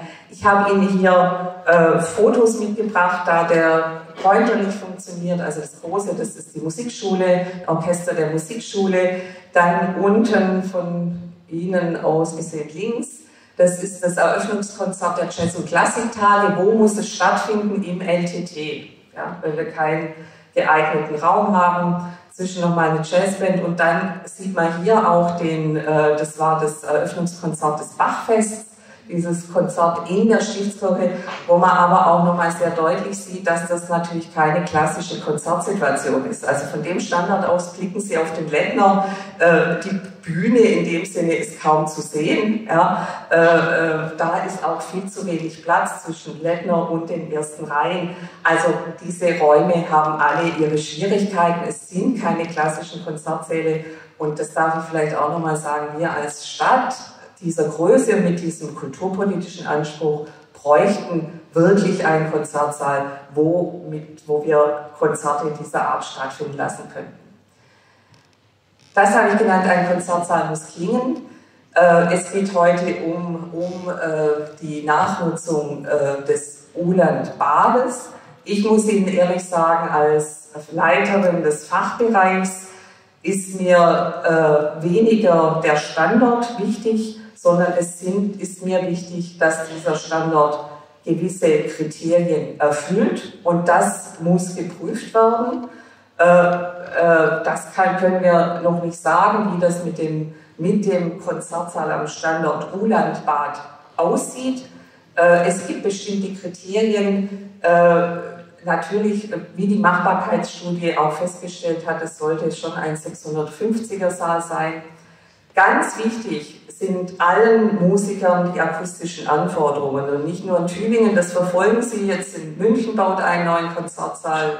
Bekanntesten ist die Elbphilharmonie. Es ist wichtig, dass die Akustik in so einem Saal stimmt. Da muss das Verhältnis zwischen Orchestergröße und Raumvolumen stimmen. Es muss eine flexible und ausreichend große Bühne da sein, die auch in einem Chorkonzert äh, die, die Menschen fast schafft, die da drauf müssen. Aber wir brauchen auch Nebenräume, wir brauchen eine Hinterbühne, Lagenräume, Garderoben etc. Wir haben da äh, Kriterien vorgegeben. Ich denke, da wird Herr Söcke nachher nochmal drauf eingehen. Das muss erfüllt sein. Technik der Schließungen Anfahrt ist ein wichtiges Kriterium. Und wir hätten gern auch ergänzende Nutzungsmöglichkeiten geprüft. Äh, das soll ein Saal werden, der nicht äh, für alle nutzbar sein muss. Aber zum Beispiel, wir haben nächstes Jahr die Pentagung hier in Tübingen, äh, äh, die, die dort stattfinden könnte. Also es könnten auch äh, wirklich andere oder was weiß ich auch mal ein, ein Abiball, also äh, äh, verschiedene äh, Nutzungsmöglichkeiten sollten geprüft werden, weil das wäre sicherlich ein Zusatznutzen, der daraus entstehen kann. Und noch ein Satz zu diesem Bild. Das ist der Bachchor in der, in der Stiftskirche, wo Sie sehen, wie beengt das auch ist. Ja, der, der Dirigent steht hier ja eigentlich in der ersten Reihe, ja, die dann leer gemacht werden muss und es, es drängen sich sowohl hinten der Chor in mehreren Reihen als das Orchester auch und da sieht man eben auch, auch wenn die Stiftskirche so viele Personen fasst, es ist kein äh, Konzertsaal in dem Sinne, sondern hat damit auch erhebliche Schwierigkeiten. Und ich glaube, dieses Bild gibt aber auch nochmal eindrucksvoll wieder, tatsächlich bei einem großen Konzert, wie die Zahl der Musiker auf der Bühne aussehen kann und was das dann äh, doch für besondere Anforderungen erfüllen muss. Jetzt habe ich auch ein bisschen länger geredet, als ich vorgehabt habe, aber das hat mich jetzt die Leidenschaft für das Anliegen mitgetragen. Äh, mir ist es wichtig, es, uns geht es nicht darum, in der Kultur jetzt irgendwie äh, äh, die Schimmer gegen die Musiker aus, äh, auszuspielen. Uns ist es wichtig, einen guten Standard für den Konzertsaal zu haben, der diese Anforderungen erfüllt. Wenn das im Ulandbad gewährleistet ist, dann ist das für uns eine gute Lösung und wir hätten das sehr gerne aber geprüft. Vielen Dank.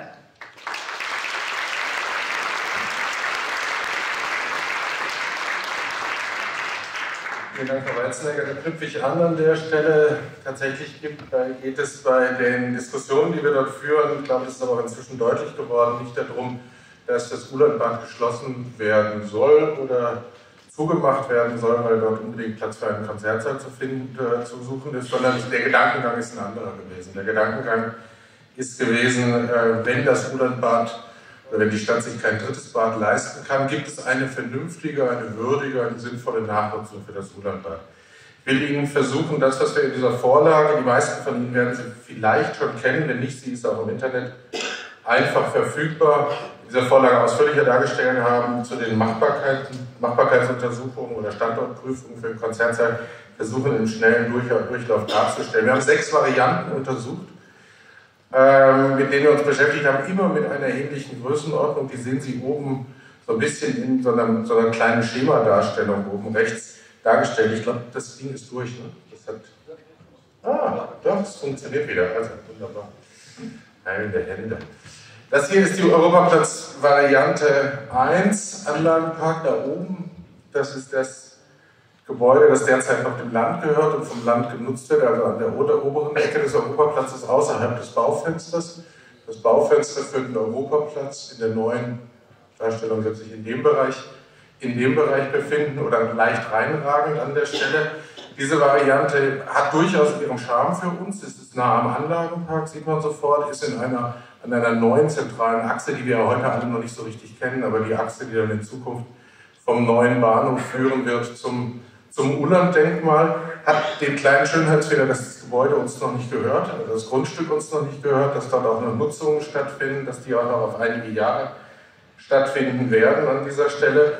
Und das muss man auch dazu sagen, dass es zwar ordentlich Platz gibt drumherum, aber dass man schon dann in einer Ecke ist, wo man logistisch sich vorher sehr genau überlegen muss, was man davor alles entwickelt und baut. Also es ist integriert in die Entwicklung des Europaplatzes, von dem Sie hier übrigens jetzt nur ein Bild sehen. Also der Europaplatz wird sich sicherlich noch viele Diskussionen in Tübingen führen, ob der dann nachher so aussieht. Das ist mal eine Fassung und eine Variante. Es kann auch ganz anders aussehen, die jetzt ganz bewusst auf den Konzertsaal zugeschnitten ist.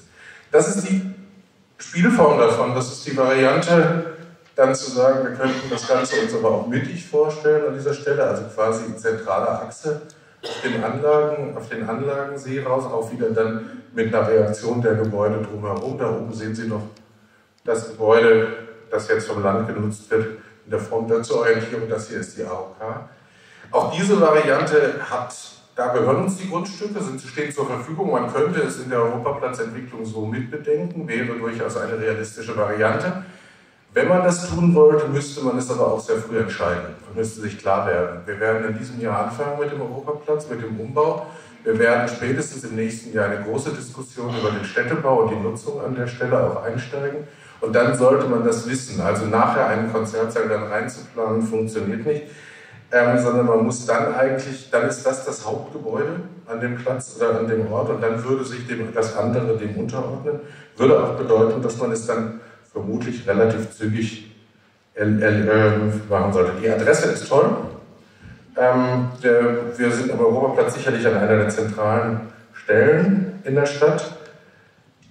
Das hier gilt für den Standort nicht, dafür hat er ein paar andere Qualitäten. Wir sind beim neuen Technischen Rathaus, da gibt es jetzt eine leichte Befangenheit bei mir an der Stelle, aber wirklich auch nur eine leichte, weil man da hinten in diesem Bereich, das sehen Sie bei dieser Variante, ein neues Baufenster auch reinstellen könnte für einen Park. Der größte Nachteil dieses Standortes wäre nach unserer Analyse, dass er in zweiter Reihe ist. Also die Brückenstraße ist zwar schön und ich verbringe meine Tage da, aber die erste Reihe ist eigentlich erkennbar, ob man das jetzt sehen kann mit dem Pointer, sehr steil hier, die Wilhelmstraße vorne. Deshalb ist in dieser Version, die Sie hier sehen, mal der Versuch gemacht worden, sozusagen aus der zweiten Reihe hinten am Technischen Rathaus eine erste Reihe zu machen indem man dann so eine Durchwegung hier konstruiert hat, die dann zur Wilhelmstraße und zur, zur Bushaltestelle am Clubhaus führt. Ein großer Vorteil dieses Standorts, den will ich auch nicht verhehlen, ist an der Stelle, dass er relativ frei ist von Kausalketten. Also er ist nicht in irgendeine, irgendeine Grundentscheidung noch eingebunden, sondern er steht zur Verfügung. Man könnte ihn dafür nutzen, man muss ein paar Parkplätze und ein paar andere Fragen, Fragen lösen, aber das ist tatsächlich einer der entscheidenden Vorteile. Für die gibt es noch eine zweite Variante, die ist dann nicht so stark in den Park reingerückt, sondern sitzt dann mehr an der Brunnenstraße, mit der wir uns auch noch ein bisschen beschäftigt haben. Die Variante hat uns tatsächlich einige Zeit beschäftigt, sehr intensiv. Herr Palmer hat eben schon mal angesprochen, dass wir vor ein paar Jahren eine Diskussion im Sparkassenkarree hatten, wo es um diesen Schlechtsaal ging. An der Stelle nochmal, das wäre übrigens auch kein Konzertsaal gewesen, der Art, wie wir ihn jetzt vorgestellt haben, sondern es wäre ein Veranstaltungssaal, wäre ein Veranstaltungssaal gewesen. Wir reden jetzt hier über eine andere Dimension. Hier haben wir jetzt mal versucht, in dem verfügbaren Grundstück am Museum, jetzt wird es ja wirklich sehr schräg, kann ich kaum zeigen. Ja, Sie sehen es selber besser, als wenn ich jetzt mit dem Pointer hier um die Ecke um die Ecke Bieme. Wir haben versucht, in dem verfügbaren Grundstück am äh, Museum, also direkt nördlich hier von diesem Grundstück, in diesem Zwickel, wo heute das Komödle steht und, und diese, diese kleinen eingeschossigen, anderthalbgeschossigen oder zweigeschossigen Gebäude aus den 50er Jahren, die dann abzubrechen und an dieser Stelle ein neues Baufenster zu sehen. Das passt sich in den alten botanischen Garten ein. Also die Wegeführung des alten botanischen Gartens war uns dabei heilig ist auch meine Überzeugung, der alte botanische Garten ist keine Fläche, in die man irgendwie reinbauen kann in Tübingen, sondern die muss man respektieren. Das geht nicht anders, sondern an dieser Stelle. Die interessanteste, die interessanteste äh, Position dieses, oder die, die interessanteste Vorteil dieses Standorts ist aus unserer Analyse gewesen natürlich die Kombination mit diesen Seelen hier an der Stelle. Die, der Gedanke, ein großer Saal und dann kleinere Säle, die hier nutzbar sind im Museum mit der Idee dahinter, es könnte dann auch eine Konferenzsaal oder ein Konferenzzentrum irgendeiner Art sein und eine Mehrfachnutzung war charmant für uns. Auch die Lage zwischen Universität, Universität und Altstadt ist sicherlich eine sehr gute Lage, ein sehr zentraler, sehr zentraler, sehr sichtbarer Standort. Der größte Nachteil ist tatsächlich seine Eingezwängtheit. Der ist logistisch, das sieht man hier drauf gar nicht so sehr, ist logistisch der mit Abstand komplizierteste von allen sind so ein die Themen Denkmalschutz, sowohl alter botanischer Garten als auch dieses Gebäude, Anfahrbarkeit. Jetzt wirkt es noch relativ nett, wenn aber mal eine Regionalstadtbahn Innenstadtstrecke hier vor der Haustür fährt, wird das alles sehr viel komplizierter. Tiefgaragen und sowas ganz kompliziert. Und das Baufenster ist eigentlich auch deutlich zu klein. Das kann man dann kneten und gucken, kriegt man das in der Höhe, das sehen Sie dem an. An der Stelle nochmal das, was ich am Anfang gesagt habe, das sind erste Skizzen. Das sind, ich sage es vielleicht nochmal ganz deutlich, das hier ist keine Architektur, sondern es ist eine städtebauliche Untersuchung, die ich Ihnen zeige, die man mit groben Baumassen arbeitet. Das kann natürlich keine Architektur sein, was Sie hier sehen. Und das gilt natürlich auch hierfür. Das ist der Punkt, über den wir jetzt am intensivsten wahrscheinlich heute noch reden werden.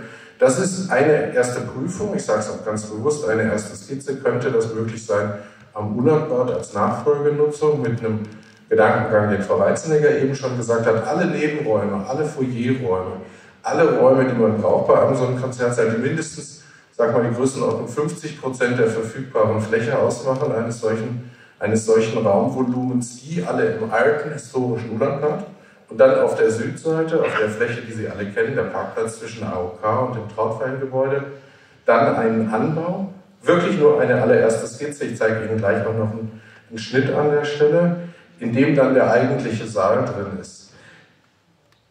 Der noch fangen wir mit den Nachteilen an und mit den Schwierigkeiten. Wir haben, glaube ich, noch nie eine Vorlage geschrieben, ich habe es im Gemeinderat schon gesagt, die so viele Fragezeichen beinhaltet hat wie diese Vorlage, die wir haben. Und alle diese Fragezeichen sind gar nicht so sehr, ich sage mal, ein Fünftel der Fragezeichen sind zum Thema Bad gewesen und vier Fünftel der Fragezeichen sind zu diesem Standort gewesen. Weil wir wissen das heute noch nicht, ob dieser Standort tatsächlich so, wie man sich das vorstellt und wie Frau Walzinger das gerade dargestellt hat, hundertprozentig so funktioniert als Konzertsaal. Was wir wissen ist, es könnte gelingen, dort an dieser Stelle einen Konzertsaal zu bauen. Es wird auch sicherlich gelingen. Und die Frage ist, wie weit sind wir von den Anforderungen entfernt? Schaffen wir sie, schaffen wir sie nicht? Was ich Ihnen heute deshalb erzählen kann, ist einfach mal grob, was diese Skizzen darstellen. Es ist kein Entwurf, es ist keine Planung. Es ist der Versuch auf drei Geschossen, das kann man, probier es mal hier zu zeigen. Da geht es, ja, das funktioniert auf drei Geschossen an dieser Stelle diese 650 Sitzplätze, hier kann man so ein bisschen erahnen, unterzubringen. Es gibt eine Erdgeschossebene, es gibt einen größeren Rang und dann gibt es hier oben nochmal eine, eine Balkonsituation dort oben drüber, wirklich nur eine erste Skizze. Durchgänge durch den Beckenbereich dort an der Stelle. Man kann es hier sehen, glaube ich, in dem Schnitt, schwer zu zeigen, an dem Punkt. Und dann alle Nebenräume in diesem, in diesem Baukörper hier untergebracht. Es geht nach meiner Überzeugung nur, wenn wir einen Teil des benachbarten Grundstücks hier kaufen können. Hier gibt es zurzeit einen kleinen Anbau. Darüber müssen wir sprechen. Und der funktioniert und wir werden auch hier hinten mit der Fläche hinterm Ulanbad uns beschäftigen müssen. Das sind die Herausforderungen. Die Herausforderungen sind vor allem die Verbindung von alt und neu an der Stelle. Scheint uns machbar. Mit dem Denkmalschutz haben wir gesprochen. Der begrüßt das grundsätzlich, hält das für eine machbare Variante für eine machbare Lösung. Ich glaube, auch der Standort an sich in seiner Zentralität ist gut. Die wesentlichste Herausforderung ist, kommt man mit dem sehr, sehr knappen Platz, sehr, sehr knappen Raum an dieser Stelle aus und kriegt man auch die ganzen akustischen Anforderungen, die Frau Weizenegger gerade genannt hat, räumlichen Anforderungen, dort so in der Form, wie das von den Konzertsaal-Befürwortern gewünscht wird, unter. Die wesentlichen Vorteile liegen auch in der Kausalkette, die meine Kollegin Daniela Harsch im Anfang Ihnen erläutert hat, tatsächlich dann auch eine Verbindlichkeit für den Saal herzustellen, eine Nachfolgenutzung, eine sinnvolle Nachfolgenutzung des Ulanplatzes mit all den uns bekannten Konflikten an der Stelle. Ich habe die Abwägung und das Resümee eigentlich schon vorweggenommen.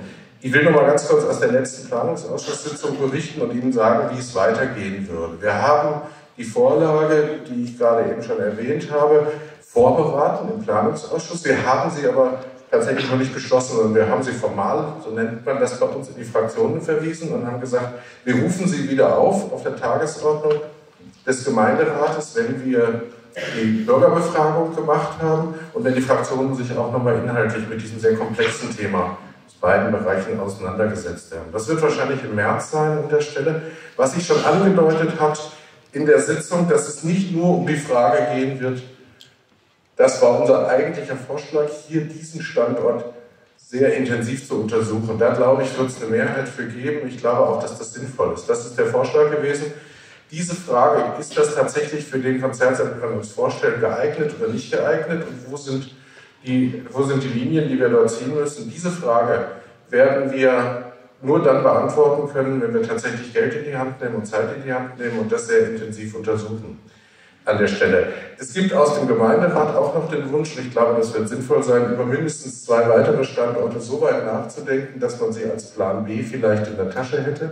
Das hat sich angedeutet, dass es hier an diesen Stellen Nur darüber ist längst nicht so intensiv zu reden wie hierüber, weil hier werden wir sehr tief in die Architektur einsteigen müssen und auch sehr eng mit Frau Weizenegger und Frau Haag zusammenarbeiten müssen und der Kultur zusammenarbeiten müssen, um dann nachher eine Antwort geben zu können. An der Stelle, dass dort ein Saal funktioniert, wissen wir.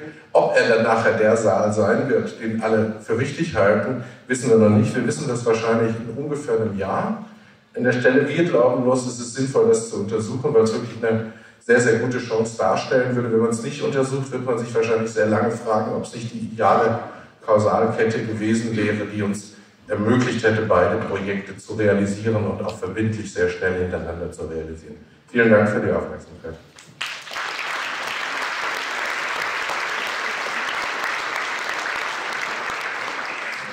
Wir hören jetzt noch drei Stellungnahmen, und zwar vom Einzelner Tübingen, Herr Professor Autenried, für die Schwimmvereine Herrn Fischer und für äh, den Ulandbad Widerspruch, nein, für äh, den Verein Pro Landbad. Die Frau Stoll, warten Sie noch eine Sekunde, Sie sind gleich dran. Äh, wie bei allen Live-Veranstaltungen ist das Problem immer, dass man die Sendezeit überzieht. Das ist uns jetzt auch schon passiert. Wir wollten eigentlich schon fertig sein mit der Diskussion. Aber äh, was ich Ihnen jetzt trotzdem nicht ersparen kann, sind drei Minuten Finanzen. Da müssen Sie durch. Mein Job als Finanzbürgermeister ist, Nein zu sagen. Das ist die wichtigste Aufgabe des Finanzbürgermeisters, Nein sagen, damit am Ende die Stadt immer die Ausgaben, die nötig sind, erfüllen kann. Ich habe das die letzten zehn Jahre ziemlich intensiv gemacht. Ich habe gesagt, nein, wir können uns jetzt noch keinen Konzertsaal leisten. Und mindestens fünf Jahre habe ich auch gesagt, nein, wir können uns kein neues Bad leisten. Ja? Warum? Weil wir als Stadt aus einer Zeit kommen, in der wir viele, viele Altlasten aufgehäuft haben. Wir hatten kaputte Schulen, wir hatten kaputte Kinderhäuser, kaputte Straßen, das war erstmal alles abzuarbeiten. Und ja, ich kann sagen, wir sind jetzt so weit, dass wir da viele Hausaufgaben erledigt haben, vier Gymnasien saniert, das fünfte steht vor der Brust. Haken dran, der große Rückstand in der Infrastruktur unserer Stadt ist einigermaßen saniert. Meine Überzeugung ist, man kann sich Neues erst dann leisten, wenn das Alte einigermaßen gepflegt ist. Da könnten wir noch mehr machen, die Stadtbibliothek wartet noch, äh, die Musikschule müssen wir jetzt noch anfangen, aber ich bin bereit zu sagen, ja, wir haben Hausaufgaben so viel erledigt, dass wir uns jetzt auch Neues leisten können. In der Vergangenheit war ich strikt dagegen. Was dazu auch gehört ist, und es wird ja kritisch diskutiert, das Thema Wachstum, dass wir heute dreimal höhere Gewerbesteuereinnahmen haben als vor zwölf Jahren und dass Tübingen, was die sogenannte Nettoinvestitionsrate angeht, vor 15 Jahren noch im letzten Zehntel der 100 großen Kreisstädte in Baden-Württemberg war und jetzt im oberen Drittel. Wir haben drastisch zugelegt, was die Investitionsfähigkeit unserer Stadt angeht, und das ist die Voraussetzung für alles andere. Das heißt aber nicht, das kennt man ja, wenn es dem Esel so wohl ist, geht er aufs Eis, dass man jetzt prassen kann. Und ich habe gerade noch mal geguckt, der DLRG hat im Januar dieses Jahres eine Initiative Rettet unsere Bäder vor der Schließung begonnen. Jeden vierten Tag schließt in Deutschland ein Schwimmbad aus Finanznot der jeweiligen Stadt und Gemeinde. Das Erste, was man dicht macht, wenn es Geld ausgeht, ist ein Bad, weil das so wahnsinnig viel Ertrag bringt. Das wissen Sie, Einsparung sicher am besten. Wir, haben, wir leben in einer Zeit, wo Bäder ständig geschlossen werden, jeden vierten Tag. Die Stadt Pforzheim mit 120.000 Einwohnern hat kein Hallenbad mehr, weil sie es sich nicht leisten können. Und deswegen sage ich als Finanzbürgermeister klipp und klar Nein zu drei Hallenbädern in Tübingen. Das geht mit mir nicht mit mir nicht drin. Dagegen werde ich immer kämpfen. Drei sind nicht bezahlbar. Das ist nicht verantwortlich angesichts anderer Aufgaben. Ich sage ganz klar Ja zu allen Konzepten mit zwei Hallenbädern und einem Konzertsaal. Dazu sage ich ja, aber nicht drei Hallenbäder und ein Konzertsaal. Das ist eindeutig eine Überforderung der städtischen Finanzen. Dieses Ja zu zwei Hallenbädern und einem Konzertsaal ist in verschiedensten Varianten für mich völlig in Ordnung. Das kann sein ein Ulandbad und ein erweitertes Nordbad. Das kann sein ein Konzertsaal im Ulandbad und ein neues Hallenbad im Süden. Das kann sein ein neuer Konzertsaal an anderer Stelle und eine wirtschaftlich neutrale Nutzung des Ulandbades mit zwei neuen Hallenbädern. Da gibt es viele Varianten. Also die, der Vorwurf, ich sei festgelegt und würde genau eine Sache verfolgen, stimmt nicht. Aber was ich wirklich verlange, ist, dass wir verantwortlich mit den Finanzen unserer Stadt umgehen und uns nicht Luftschlösser bauen, Wunschkonzerte spielen, bei denen wir nachher in fünf Jahren fragen, wie konnte das passieren, wie konnte man so viel Geld ausgeben und jetzt stehen wir da in der nächsten Wirtschaftskrise und wissen nicht, wie es weitergehen soll. Das ist mein Plädoyer und Das heißt aus meiner Sicht für die Badfrage, entweder behalten wir das Unlandbad und begnügen uns dann mit weniger Wasserflächen durch ein erweitertes Nordbad. Da kann man schon was machen, sechs Baden geht da auch noch hin auf den Parkplatz, aber sind dann zufrieden mit weniger Funktionalität für die Schwimmer. Oder aber wir verzichten auf das Unlandbad und werben dann deutschlandweit die Platz mit dem besten Schwimmunterricht. Das habe ich jetzt gelernt. Wenn wir das machen, das Hallenbad Süd bauen, sind wir Spitzenreiter in Deutschland mit der Schwimmunterrichtsversorgung. Diesen Spitzenplatz in Deutschland wünsche ich mir für unsere Stadt, wie viele andere Spitzenplätze. Wir sind Spitze bei der Kinderbetreuung in Deutschland, wir sind Spitze beim Klimaschutz in Deutschland, wir sind Spitze bei der Mobilität ohne Auto, wir sind die Ersten mit Bürger-App, wir sind die Ersten mit kostenlosem Sonntagsbus. Mein Ehrgeiz als Oberbürgermeister ist überall die Spitzenposition in Deutschland zu erringen. Aber mehr, aber mehr als diese Spitzenposition mit 1,1, die wir da gerade gehört haben, ist nicht drin. Kein 50 Meter Becken und keine 3,5 Meter. Das ist meine Position als Finanzbürgermeister zu dieser Frage. Und dann haben Sie immer noch viele, viele Gestaltungsmöglichkeiten innerhalb dieses meiner Meinung nach realistischen finanziellen Korsetts. Und jetzt hören wir die drei Stellungnahmen. Professor Autenried, the floor is yours.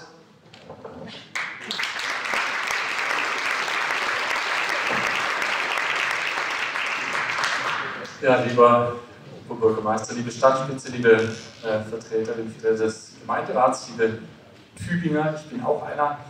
Äh, vielen Dank für die Möglichkeit, hier kurz zu sprechen. Mein Name ist Ingo Augenlied, ich bin äh, Mitglied des äh, Vereins Einzahl für Tübingen und bin sonst auch äh, im normalen Leben äh, Arzt und Hochschullehrer hier an der Universität. Ich habe vier Kinder, die haben in Tübingen übrigens schwimmen und musizieren gelernt. deswegen passe ich perfekt auf diese Veranstaltung. Äh, kurz nochmal zu den Fakten, die Musik betreffen. Übrigens, eine Spitze haben Sie vergessen, natürlich auch die Universitätsspitze, die Exzellenzuniversität. Das müsste ich jetzt sagen. Und zweitens wollen wir natürlich auch die Musikspitze sein.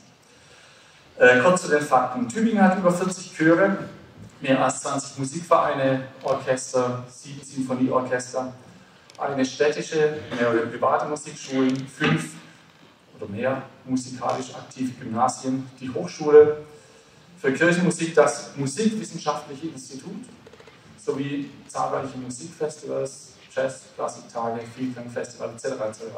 Und dennoch, Konzerte für Amateur- und Profimusiker finden in dieser Stadt, großartige Stadt, keine adäquaten Konzertsaal. Haben wir gerade schon vor gehört.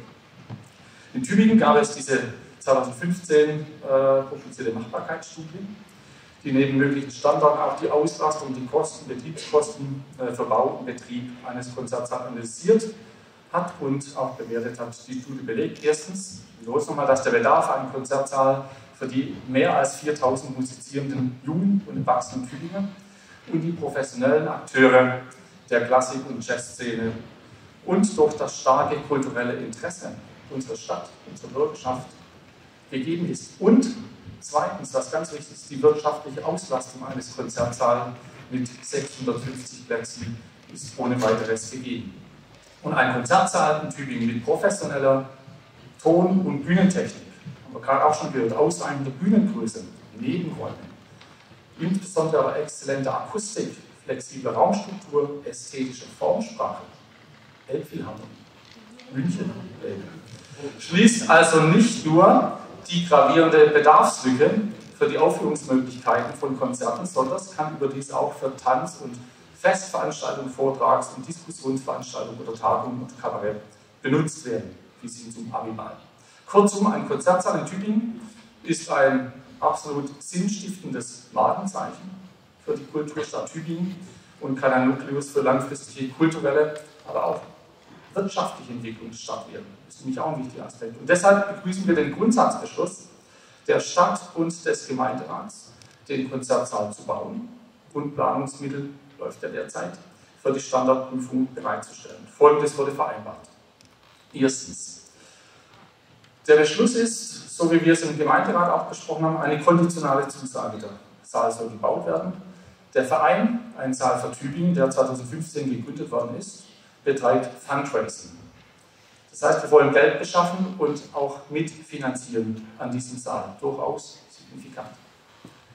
Bürgerengagement im besten Sinne kann auch bei anderen Projekten so sein. Bevor wir aber in diesem Sinne aktiv werden können und bevor das geschehen kann, muss, und das ist auch Teil des Beschlusses, die Standardfrage geklärt werden. Denn nur mit erstens der eindeutigen Zusage für den Bau und zweitens dem konkreten Bauort ist ein derartiges Unterfangen, also Fundraising, überhaupt möglich. Und die Standardfrage, das ist der dritte Punkt, ist essentiell verknüpft mit den Anforderungen eines Konzertsaals. 650 Plätze und exzellente Akustik. Akustik First wäre überhaupt ein Motto für diesen Saal. Das hat auch die, die kürzliche Reise nach Zürich, auch dort eine ganz unkonventionelle Halle, die sogenannte Magathonhalle, ergeben. Ist das absolute Muss für einen Saal, der dann auch erfolgreich wirtschaftlich genutzt wird. Inklusive ausreichender Bühnengröße, ausreichende Nebengröße, ausreichendes Foyer. Das geht nämlich in der Universität, im Festsaal eben nicht. Und eine angemessene Verkehrsanbindung, Erreichbarkeit, Verfügbarkeit des Baugrunds und ein relevanter Horizont, der nicht an allzu viele Konditionalitäten, wie wir es gerade schon gehört haben, das an den Baugrund gar nicht gehört, geknüpft sein kann. Die Stadt hat zugesichert, da sind wir sehr froh darüber, dass alle hierfür ernsthaft in Frage kommenden Standorte, also Museum, Schinkelstuben und Oberlatunenbad, geprüft werden. Bis hierher sind wir uns, glaube ich, auch alle sehr einig. Nun ergibt sich die ebenfalls hier vorgetragene und aus der Sicht der Stadt völlig nachvollziehbares Momentum, die Überlegung, dass die Opportunität undankbar vor dem Hintergrund eines dritten Schwimmbads, wie Sie gerade ausgeführt haben, und dass Unterhaltskosten zu einem Plan führen könnten, zwei Bäder, ein Saal im oder am Bad. Als Arzt habe ich in meinem Leben gelernt, erste Diagnose, dann die Therapie. Und deshalb im jetzigen Prozess, die Meinungsbildung und gar Abstimmung per App, wird der Verein deshalb ganz klar die Meinung, nicht nur weil ich Arzt bin und weil ich erst Diagnose und dann Therapie möchte, dass eine Umfrage vor, der, vor dem Prüfergebnis der Standorte gemäß den Prüfkriterien, die ja definiert sind und auf dem Tisch liegen, kaum oder wenig sinnvoll ist. Eine Umfrage, nachdem das Prüfungsergebnis vorliegt, eine Umfrage, nachdem das Prüfergebnis vertiefende Ergebnis vorliegt, kann dagegen sehr, sehr sinnvoll sein und den Gemeinderat und die Stadt sinnvoll unterstützen. Eine Befragung, das ist Punkt, ist natürlich auch nur dann sinnvoll, wenn sie ausreichend informiert erfolgt und tatsächlich machbare Alternativen benennt. Wenn sich nämlich ergibt, und äh, Vögel hat das gerade ausgeführt, ein Beispiel dass vielleicht äh, entweder ohne nähere Information abgestimmt wird oder zweitens nach der Prüfung im Anschluss an die Abstimmung sich herausstellen sollte, dass die Grundlage für einen Standort entfällt, dann kann eigentlich dieses, was ja grundsätzlich positiv ist, diese Mitbestimmung, die wir auch unterstützen per App, und das Einbeziehen uns als Bürger, weil es motiviert und das Politikverständnis äh, hier motivieren will, dass das auch zur Enttäuschung führt wenn wir bestimmte Dinge vorwegnehmen, die hinterher nicht haltbar sind, über was abstimmen, was hinterher sich vielleicht als gar nicht machbar erweist. Dann kann es auch zu frustrieren, Frustration finden. Und im Übrigen, auch das, ich habe in meinem Bekanntenkreis, mein Vater wird dieses Jahr 93, Makuladegeneration sieht schlecht, hört aber gut, ging auch letzten Samstag zum Konzert. Ähm, der hat bei dieser Form der Information Schwierigkeiten. Also ich mache mir schon Sorgen, ob wir auch bei dieser Art der Information hier sitzen, ich sage 0,5, aber eben nicht die Zahl der Bürger, die wir sonst haben, wenn wir Wahlveranstaltungen machen oder Sie Wahlveranstaltungen machen, dass wir dort auch alle tatsächlich erreichen. Also noch einmal, zuerst die Diagnose, dann die Therapie, kein Jungding. Konkret, erstens Standardprüfung Konzertsaal, zweitens detaillierte Informationen über das Ergebnis an die Tübinger Bürgerschaft und dann drittens Abstimmung gerne auch per App.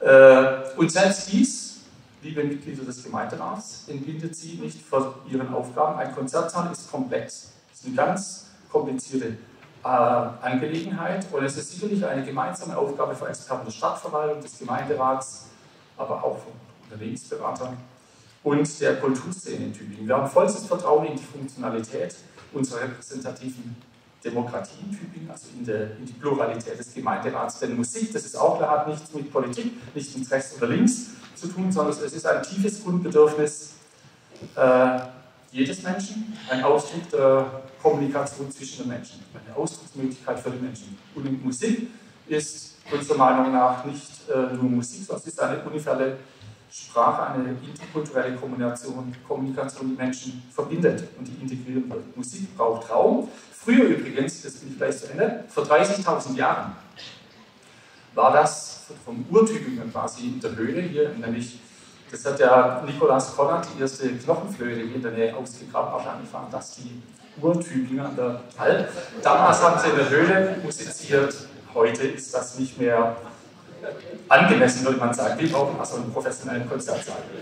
Tübingen ist eine großartige, ist eine wohlhabende Stadt, eine Stadt der Kultur, des Geistes, aber auch des Sports. In vielen Gesprächen mit Medien und, und auch Medienbeiträgen der Zeitung, aber beschleicht mich so das Gefühl, was wir vermeiden sollten, dass es erstens mal eine ausreichende Information zu beiden Themen gibt, Saal und Bad, und zweitens sollten die Projekte nicht gegeneinander antreten. Das ist kein Sinn.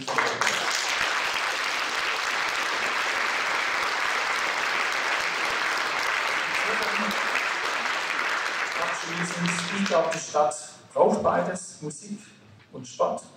Die Menschen brauchen beides, Musik und Sport. Die Stadt schafft beides, Saal und Bad, für Jung und Alt.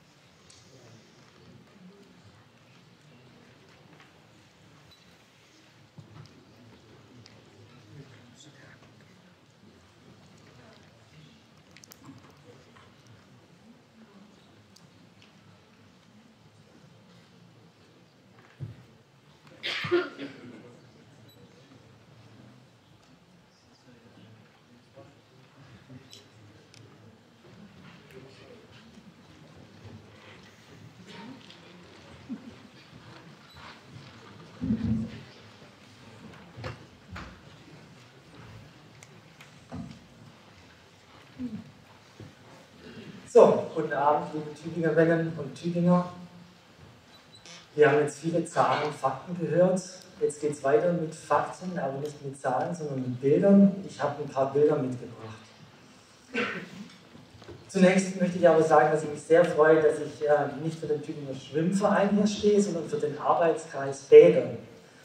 Der Arbeitskreis Bäder hat sich 2016 konstituiert und eine seiner zentralen Aufgaben war, ein nachhaltiges Bäderkonzept für Tübingen zu erarbeiten. Und das hat er auch getan. In dem Arbeitskreis ist zunächst mal die Stadtverwaltung, die Stadtwerke, die DLRG-Ortsgruppe Tübingen, vertreten heute durch den Vorstand von Freundländer, die Präventionsgruppen, ein Verein mit weit über 2000 Mitgliedern, immer auf der Suche nach Wasserfläche für ihre Kursangebote, vor allem im Gesundheitsbereich. Der Post SV Tübingen mit seiner prosperierenden Triathlon-Abteilung, heute vertreten durch der Herr Ehrlichmann, irgendwo sitzt er, ja, da, danke. Der Tübinger Schwimmverein mit seinem ersten Vorsitzenden Thomas Fischer, auch 1000 Mitglieder und ein Kooperationspartner von dem Projekt Schwimmen für alle Kinder. Ich sehe gerade Herr Müller von dem Projekt, ein sehr unterstütztes Projekt, auch in Tübingen ein bekanntes Projekt. Außerdem ist die Volkshochschule in dem Arbeitskreis vertreten. Unidive, einer der größten Tauchclubs von Deutschland, ausgezeichnet vom Württembergischen Landessportverbund, besonders für ihr, sein ehrenamtliches Engagement der sich auch sehr in den Arbeitskreis einbringt, aber leider kein, kein Training in öffentlichen Bädern hier anbieten kann, ja? beziehungsweise keine Zeit bekommt, um in öffentlichen Bädern hier trainieren zu können. Er muss ins Unibad ausweichen oder andere Trainingsmöglichkeiten suchen. Und dann die Rheuma-Liga, noch ein großer ähm, Teilhabe von dem Arbeitskreis Bädert, über 2500 Mitglieder. Vorstand sitzt hier, der Herr Müller. Er vertritt vor allem die Gesundheitsanwendungen, hat immer Probleme mit langen Wasserlisten für rezeptpflichtige Anwendungen im Wasser. Und der Herr Weg sitzt dort, Vorstand vom Stadtverband für Sport. Er deckt praktisch für uns das Meinungsbild aller Vereine in Tübingen ab. Und noch der größte Block, der vertreten ist, hier die Tübinger Schulen.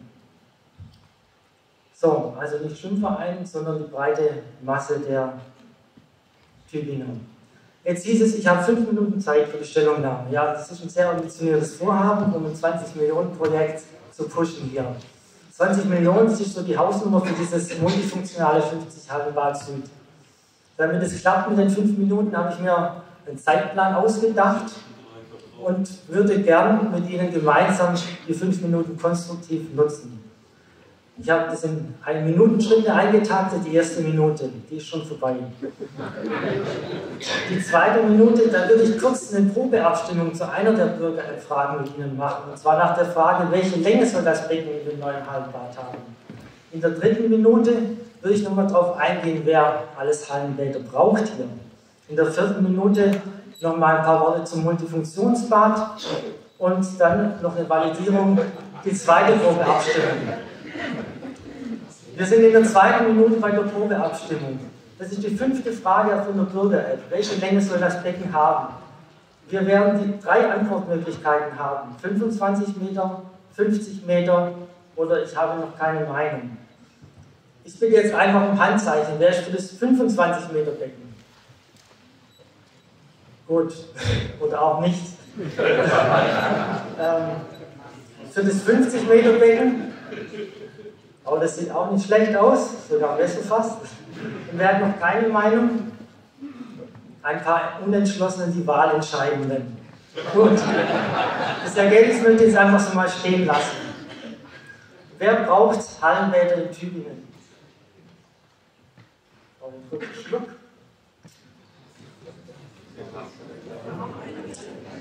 Na, zunächst brauchen wir, wir knapp 90.000 Einwohner, brauchen die Hallenbäder und wir werden immer mehr. Dazu gehören auch 15.000 Schülerinnen und Schüler, auch Tendenz steigend. Vorhin wurde angesprochen, dass wir dabei sind, auch ein neues Gymnasium bauen zu müssen. Dann gibt es eine kleine Gruppe, die auch Trainingsmöglichkeiten im Hallenbad braucht, unsere Feuerwehrtaucher, die Menschenleben retten wollen. Dann unser Schwimmverein, hier die Wasserballer, die Synchronschwimmerinnen, ja, das sind Aufnahmen vom Tübinger Freibad, jetzt vom 3-Meter-Brett, die Synchronschwimmerinnen. Dann die kleinen Schwimmer brauchen mehr Wasserfläche. Die großen Schwimmer brauchen mehr Wasserfläche. Hier unsere Mannschaft bei den deutschen Meisterschaften. Und die ganz kräftigen Jungs brauchen auch mehr Wasserfläche.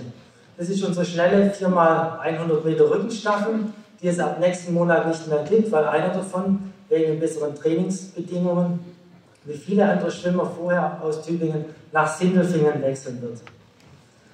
Aber nicht nur die Schwimmer aus dem Schwimmverein, die auf der ersten Bahn, sondern auf der zweiten Bahn die Triathleten, auf der dritten Bahn DLRG und weiter hinten die Wasserballer und öffentliche Badegäste bauen das neue 50 Meter Hallenbad Süd, das den Bedarf wirklich deckt als einzige Variante von diesem Nord-Süd-Konzept. Die Aufnahme hat übrigens der Herr Kostas Janakidis gemacht, falls ähm, Interesse daran besteht.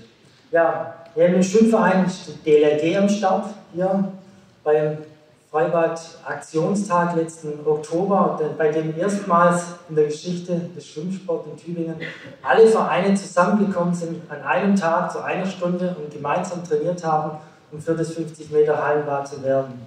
Sieht man hinten Wasserballerinnen von den Triathleten, die ins Wasser gehen und so weiter. Oder hier Taucher von unseren zwei Tauchclubs, die wir in Tübingen haben. Das Projekt Schwimmen für alle Kinder war vor Ort.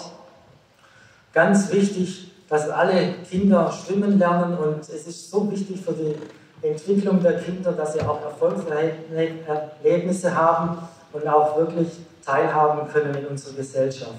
DLRG wichtig, Rettungsschwimmausbildung, tolle Jugendarbeit, braucht mehr Wasserfläche.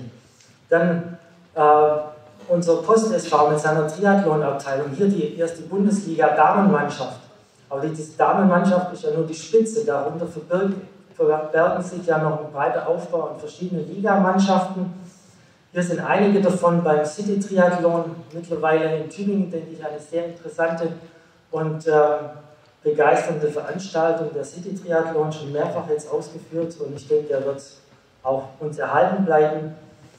Dann wieder eine ganz andere Baustelle vom Leistungssport zum Gesundheitssport, die Rheuma-Liga. Ich hatte schon gesagt, über 2500 Mitglieder in Bottenburg und Tübingen angesiedelt, immer auf der Suche nach Wasserfläche, lange Wartezeiten. Analoges gilt für gesundheitsorientierte Anwendungen der Präventionssportgruppen. Auch sie bedauern, dass sie nicht genug Kurse anbieten können. Gleiches gilt für die Volkshochschule. Die beiden Tauchclubs, Tauchclubs habe ich schon angesprochen, hier Triton und Unidive geht ins Wasser. Und nebenbei gibt es dann neben den Vereinen auch noch mehrere gewerbliche Schwimmschulen. Alle diese wollen ins Wasser und alle passen nur rein, wenn wir das Hallenbad Nord haben und das multifunktionale 50 Meter Hallenbad Süd bauen. Ähm, lang wurde dieses Nord-Süd-Konzept vorgestellt mit vielen Zahlen. Hier nochmal die grobe Zusammenfassung. Hallenbad Nord, Leerschwimmbecken, Schwimmbecken, Kinderplanschbereich, Sauna. Ist-Zustand soll saniert werden. Hallenbad Süd, ebenfalls Leerschwimmbecken, sehr wichtig, wie Sie gehört haben bei meinen Vorrednern, wirklich ein zentrales Bauelement eines Schwimmbades, dieses Leerschwimmbecken, Multifunktionsbecken im Planschbereich. Ja, dieses Leerschwimmbecken im Hallenbad Nord sieht es so aus, im Hallenbad Süd wird es etwas größer sein, aber auch gewährleisten, dass dort jeden Tag Warmbadetag ist, durch diesen Hubboden verschiedene Nutzergruppen, ob kleine Kinder oder große Erwachsene, bedarfsgerecht die richtige Wassertiefe eingestellt bekommen.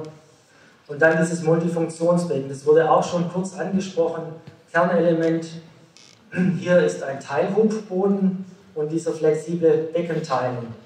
Ein Teilhubboden sieht so aus, auf einer Seite des Beckens sehen Sie hier ähm, diesen Teilhubboden, der auch hoch und runter gefahren werden kann, um von verschiedenen Nutzergruppen dann ähm, die Anwendung zu ermöglichen. Bei den verschiedenen Beckenteilern gibt es die Klappwand, fahrende Startbrücke Hubwand.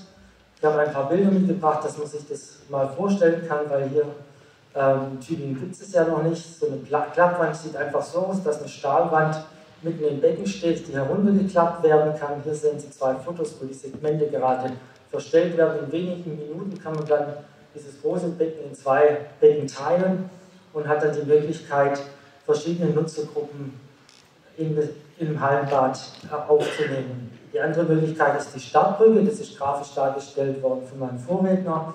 Hier steht es in der Mitte, die wird dann einfach zur Seite geschoben, nach rechts gefahren, ans Beckenende und schon hat man ein großes Becken. Oder aus meiner Sicht auch eine elegante Lösung, einfach eine Wand, die im Boden versenkt wird und bedarfsweise hochgefahren wird, hat man das Becken in zwei Minuten geteilt oder wieder vereint, je nach Bedarf. Im Betrieb sieht es dann so aus, zum Beispiel wie hier in Hannover. Ähm, da, die haben eine Klappwand jetzt hochgefahren. Ja, und ich bin auch gleich fertig.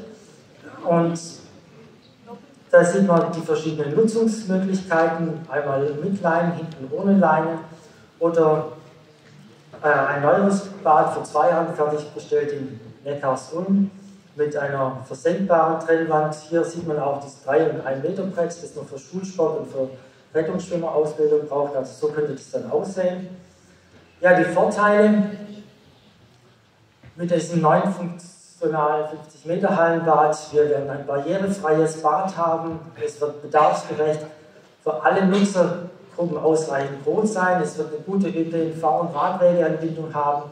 Parkplätze werden da sein fußläufig erreichbar. Schon jetzt findet der Schulunterricht auch im Freibad TSG und Paul-Horn-Arena ab. Das heißt, die Schulen laufen jetzt schon dorthin. Standort ideal, eine Gebietsabwicklung für die ganze Stadt. Wir haben Hallenbad Nord und Hallenbad Süd. Und es ist das wirtschaftlichste Konzept hinsichtlich der Verhältnis Investitionsbetriebskosten zum Nutzen. Jetzt kommen wir zur fünften, Dankeschön. Jetzt kommen wir zur fünften Minute, die zweite Probeabstimmung. Nochmal, sind Sie für ein 25 Meter Bad diesen Bedarf nicht deckt, dann will ich um ein kurzes Handzeichen. Nun das Handzeichen für das 50 Meter Becken, das den zukünftigen Badbedarf für Tübingen deckt. Das sind jetzt mehr, eindeutig mehr geworden. Ich sage jetzt mal Brille von hier oben aus. Ja. Ähm, zu dem, ich werde gerade aufgefordert zu enden, ja, aber zu diesem 25 Meter Becken noch ein Satz. Also dieses 25 Meter Becken hat ja die Konsequenz, dass wenn Schulsport ist, das heißt, wenn in den beiden Bädern Schulsport stattfindet, kein öffentliches Bade stattfinden kann. Und eben analog ist es dann nachmittags. Das heißt, die Öffentlichkeit, von der bisher wenig geredet worden ist, wird oft vor dem geschlossenen Bad stehen, vor beiden geschlossenen Bädern. Gut, wir haben jetzt noch ähm, insgesamt fünf Fragen. Zu den anderen Fragen haben wir Empfehlungen.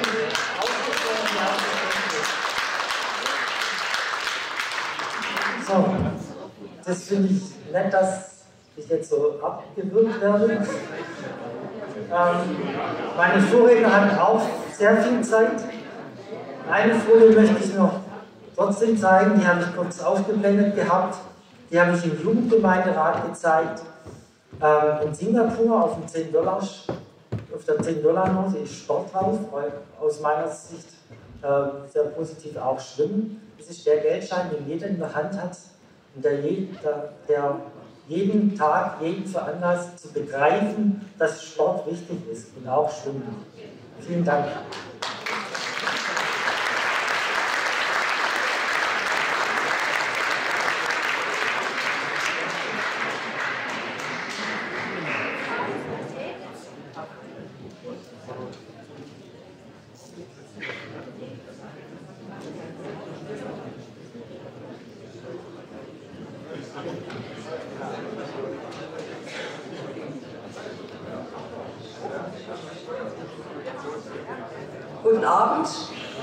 meine sehr verehrten Damen und Herren. Ich bin Cornelia Stoll und ich bin vom Freundeskreis Pro Ulandbad gebeten worden, hier eine Stellungnahme abzugeben.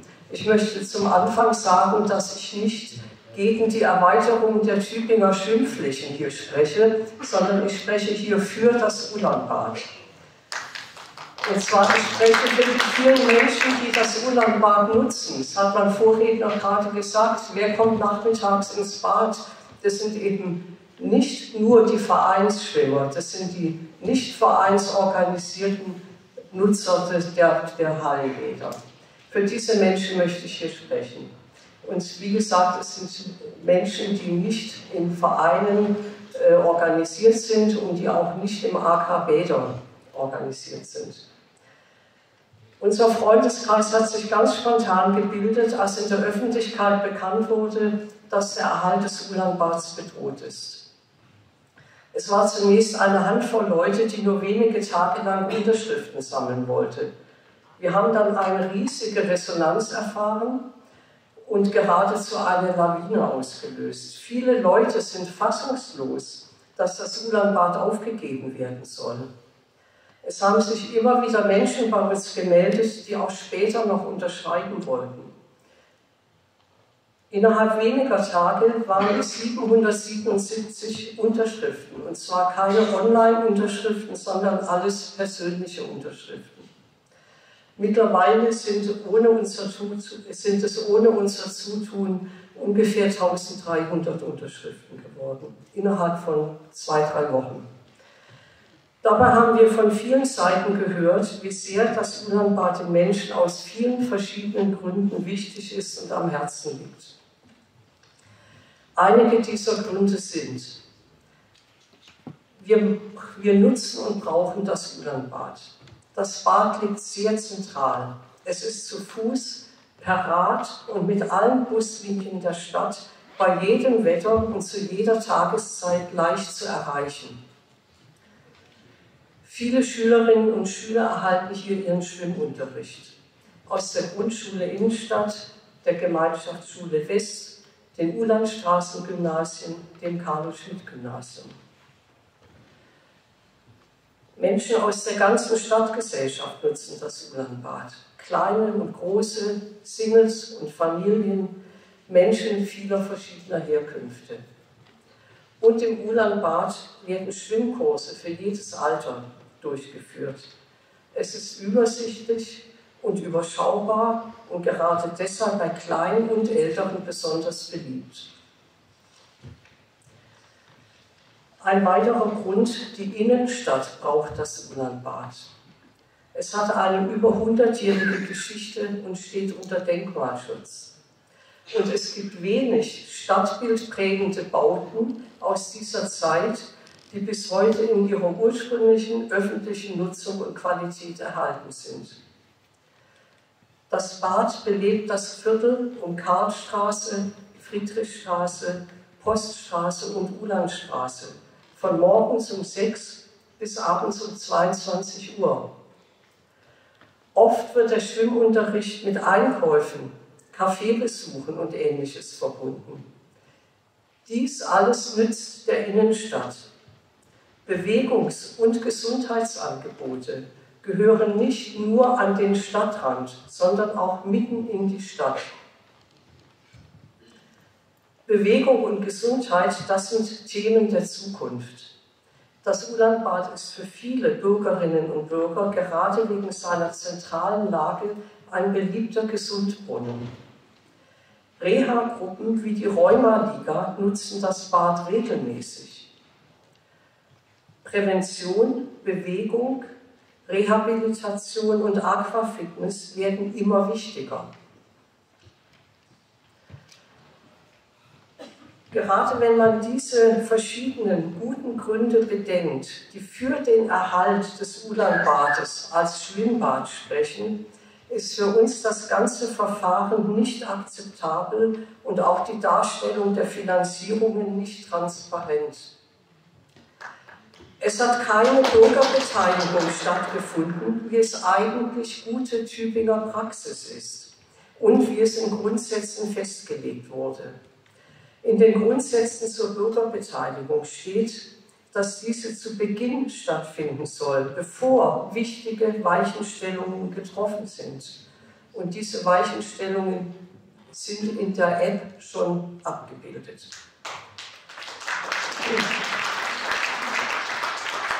Im Arbeitskreis Bäder war der nicht organisierte Sport nicht vertreten. Und ein ganz wichtiger Punkt für uns, es wurden keine Alternativen für den Weiterbetrieb des Ulanbads als Schwimmbad entwickelt und zur Diskussion gestellt.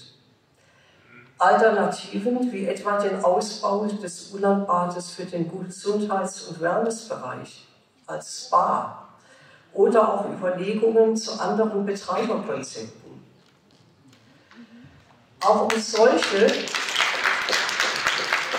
auch um solche Alternativplanungen möglich zu machen, bitten wir Sie alle hier im Saal und die vielen weiteren Bürgerinnen und Bürger dieser Stadt bei der Bürgerbefragung für den Erhalt des Ulanbads als Schwimmbad zu stimmen.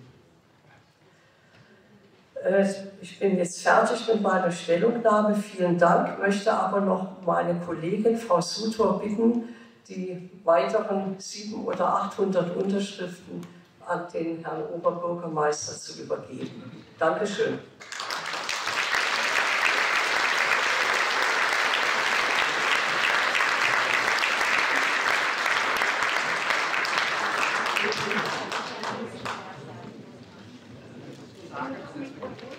Meine sagt so laut, dass es jeder versteht. Ja? Halten den einen Satz.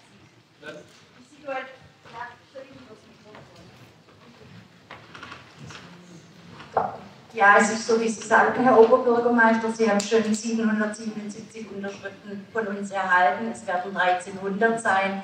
Ich wollte sagen, dass ich mir in der Situation auch durch die repräsentative Darstellung des visuellen Bades, das in Aussicht steht, wo wir absolut nichts dagegen haben, dass wir immer vorkommen wie David und Goliath in unserer Bemühung, das äh, zu erhalten. Es ist irgendwie vom Kräfteverhältnis fühlt man sich da sehr ähm, wenig stark. Ich habe keine Schleuder dabei und hätte ich sie dabei, würde ich sie weglegen. Das lasse ich bleiben, weil ich sie sowieso nicht dabei habe. Das sind unsere Unterschriften, die haben uns die Mitbürger anvertraut, in der Annahme, dass ich sie an sie weitergebe und dass sie an sie denken, ihre Wünsche und ihre Hoffnungen berücksichtigen.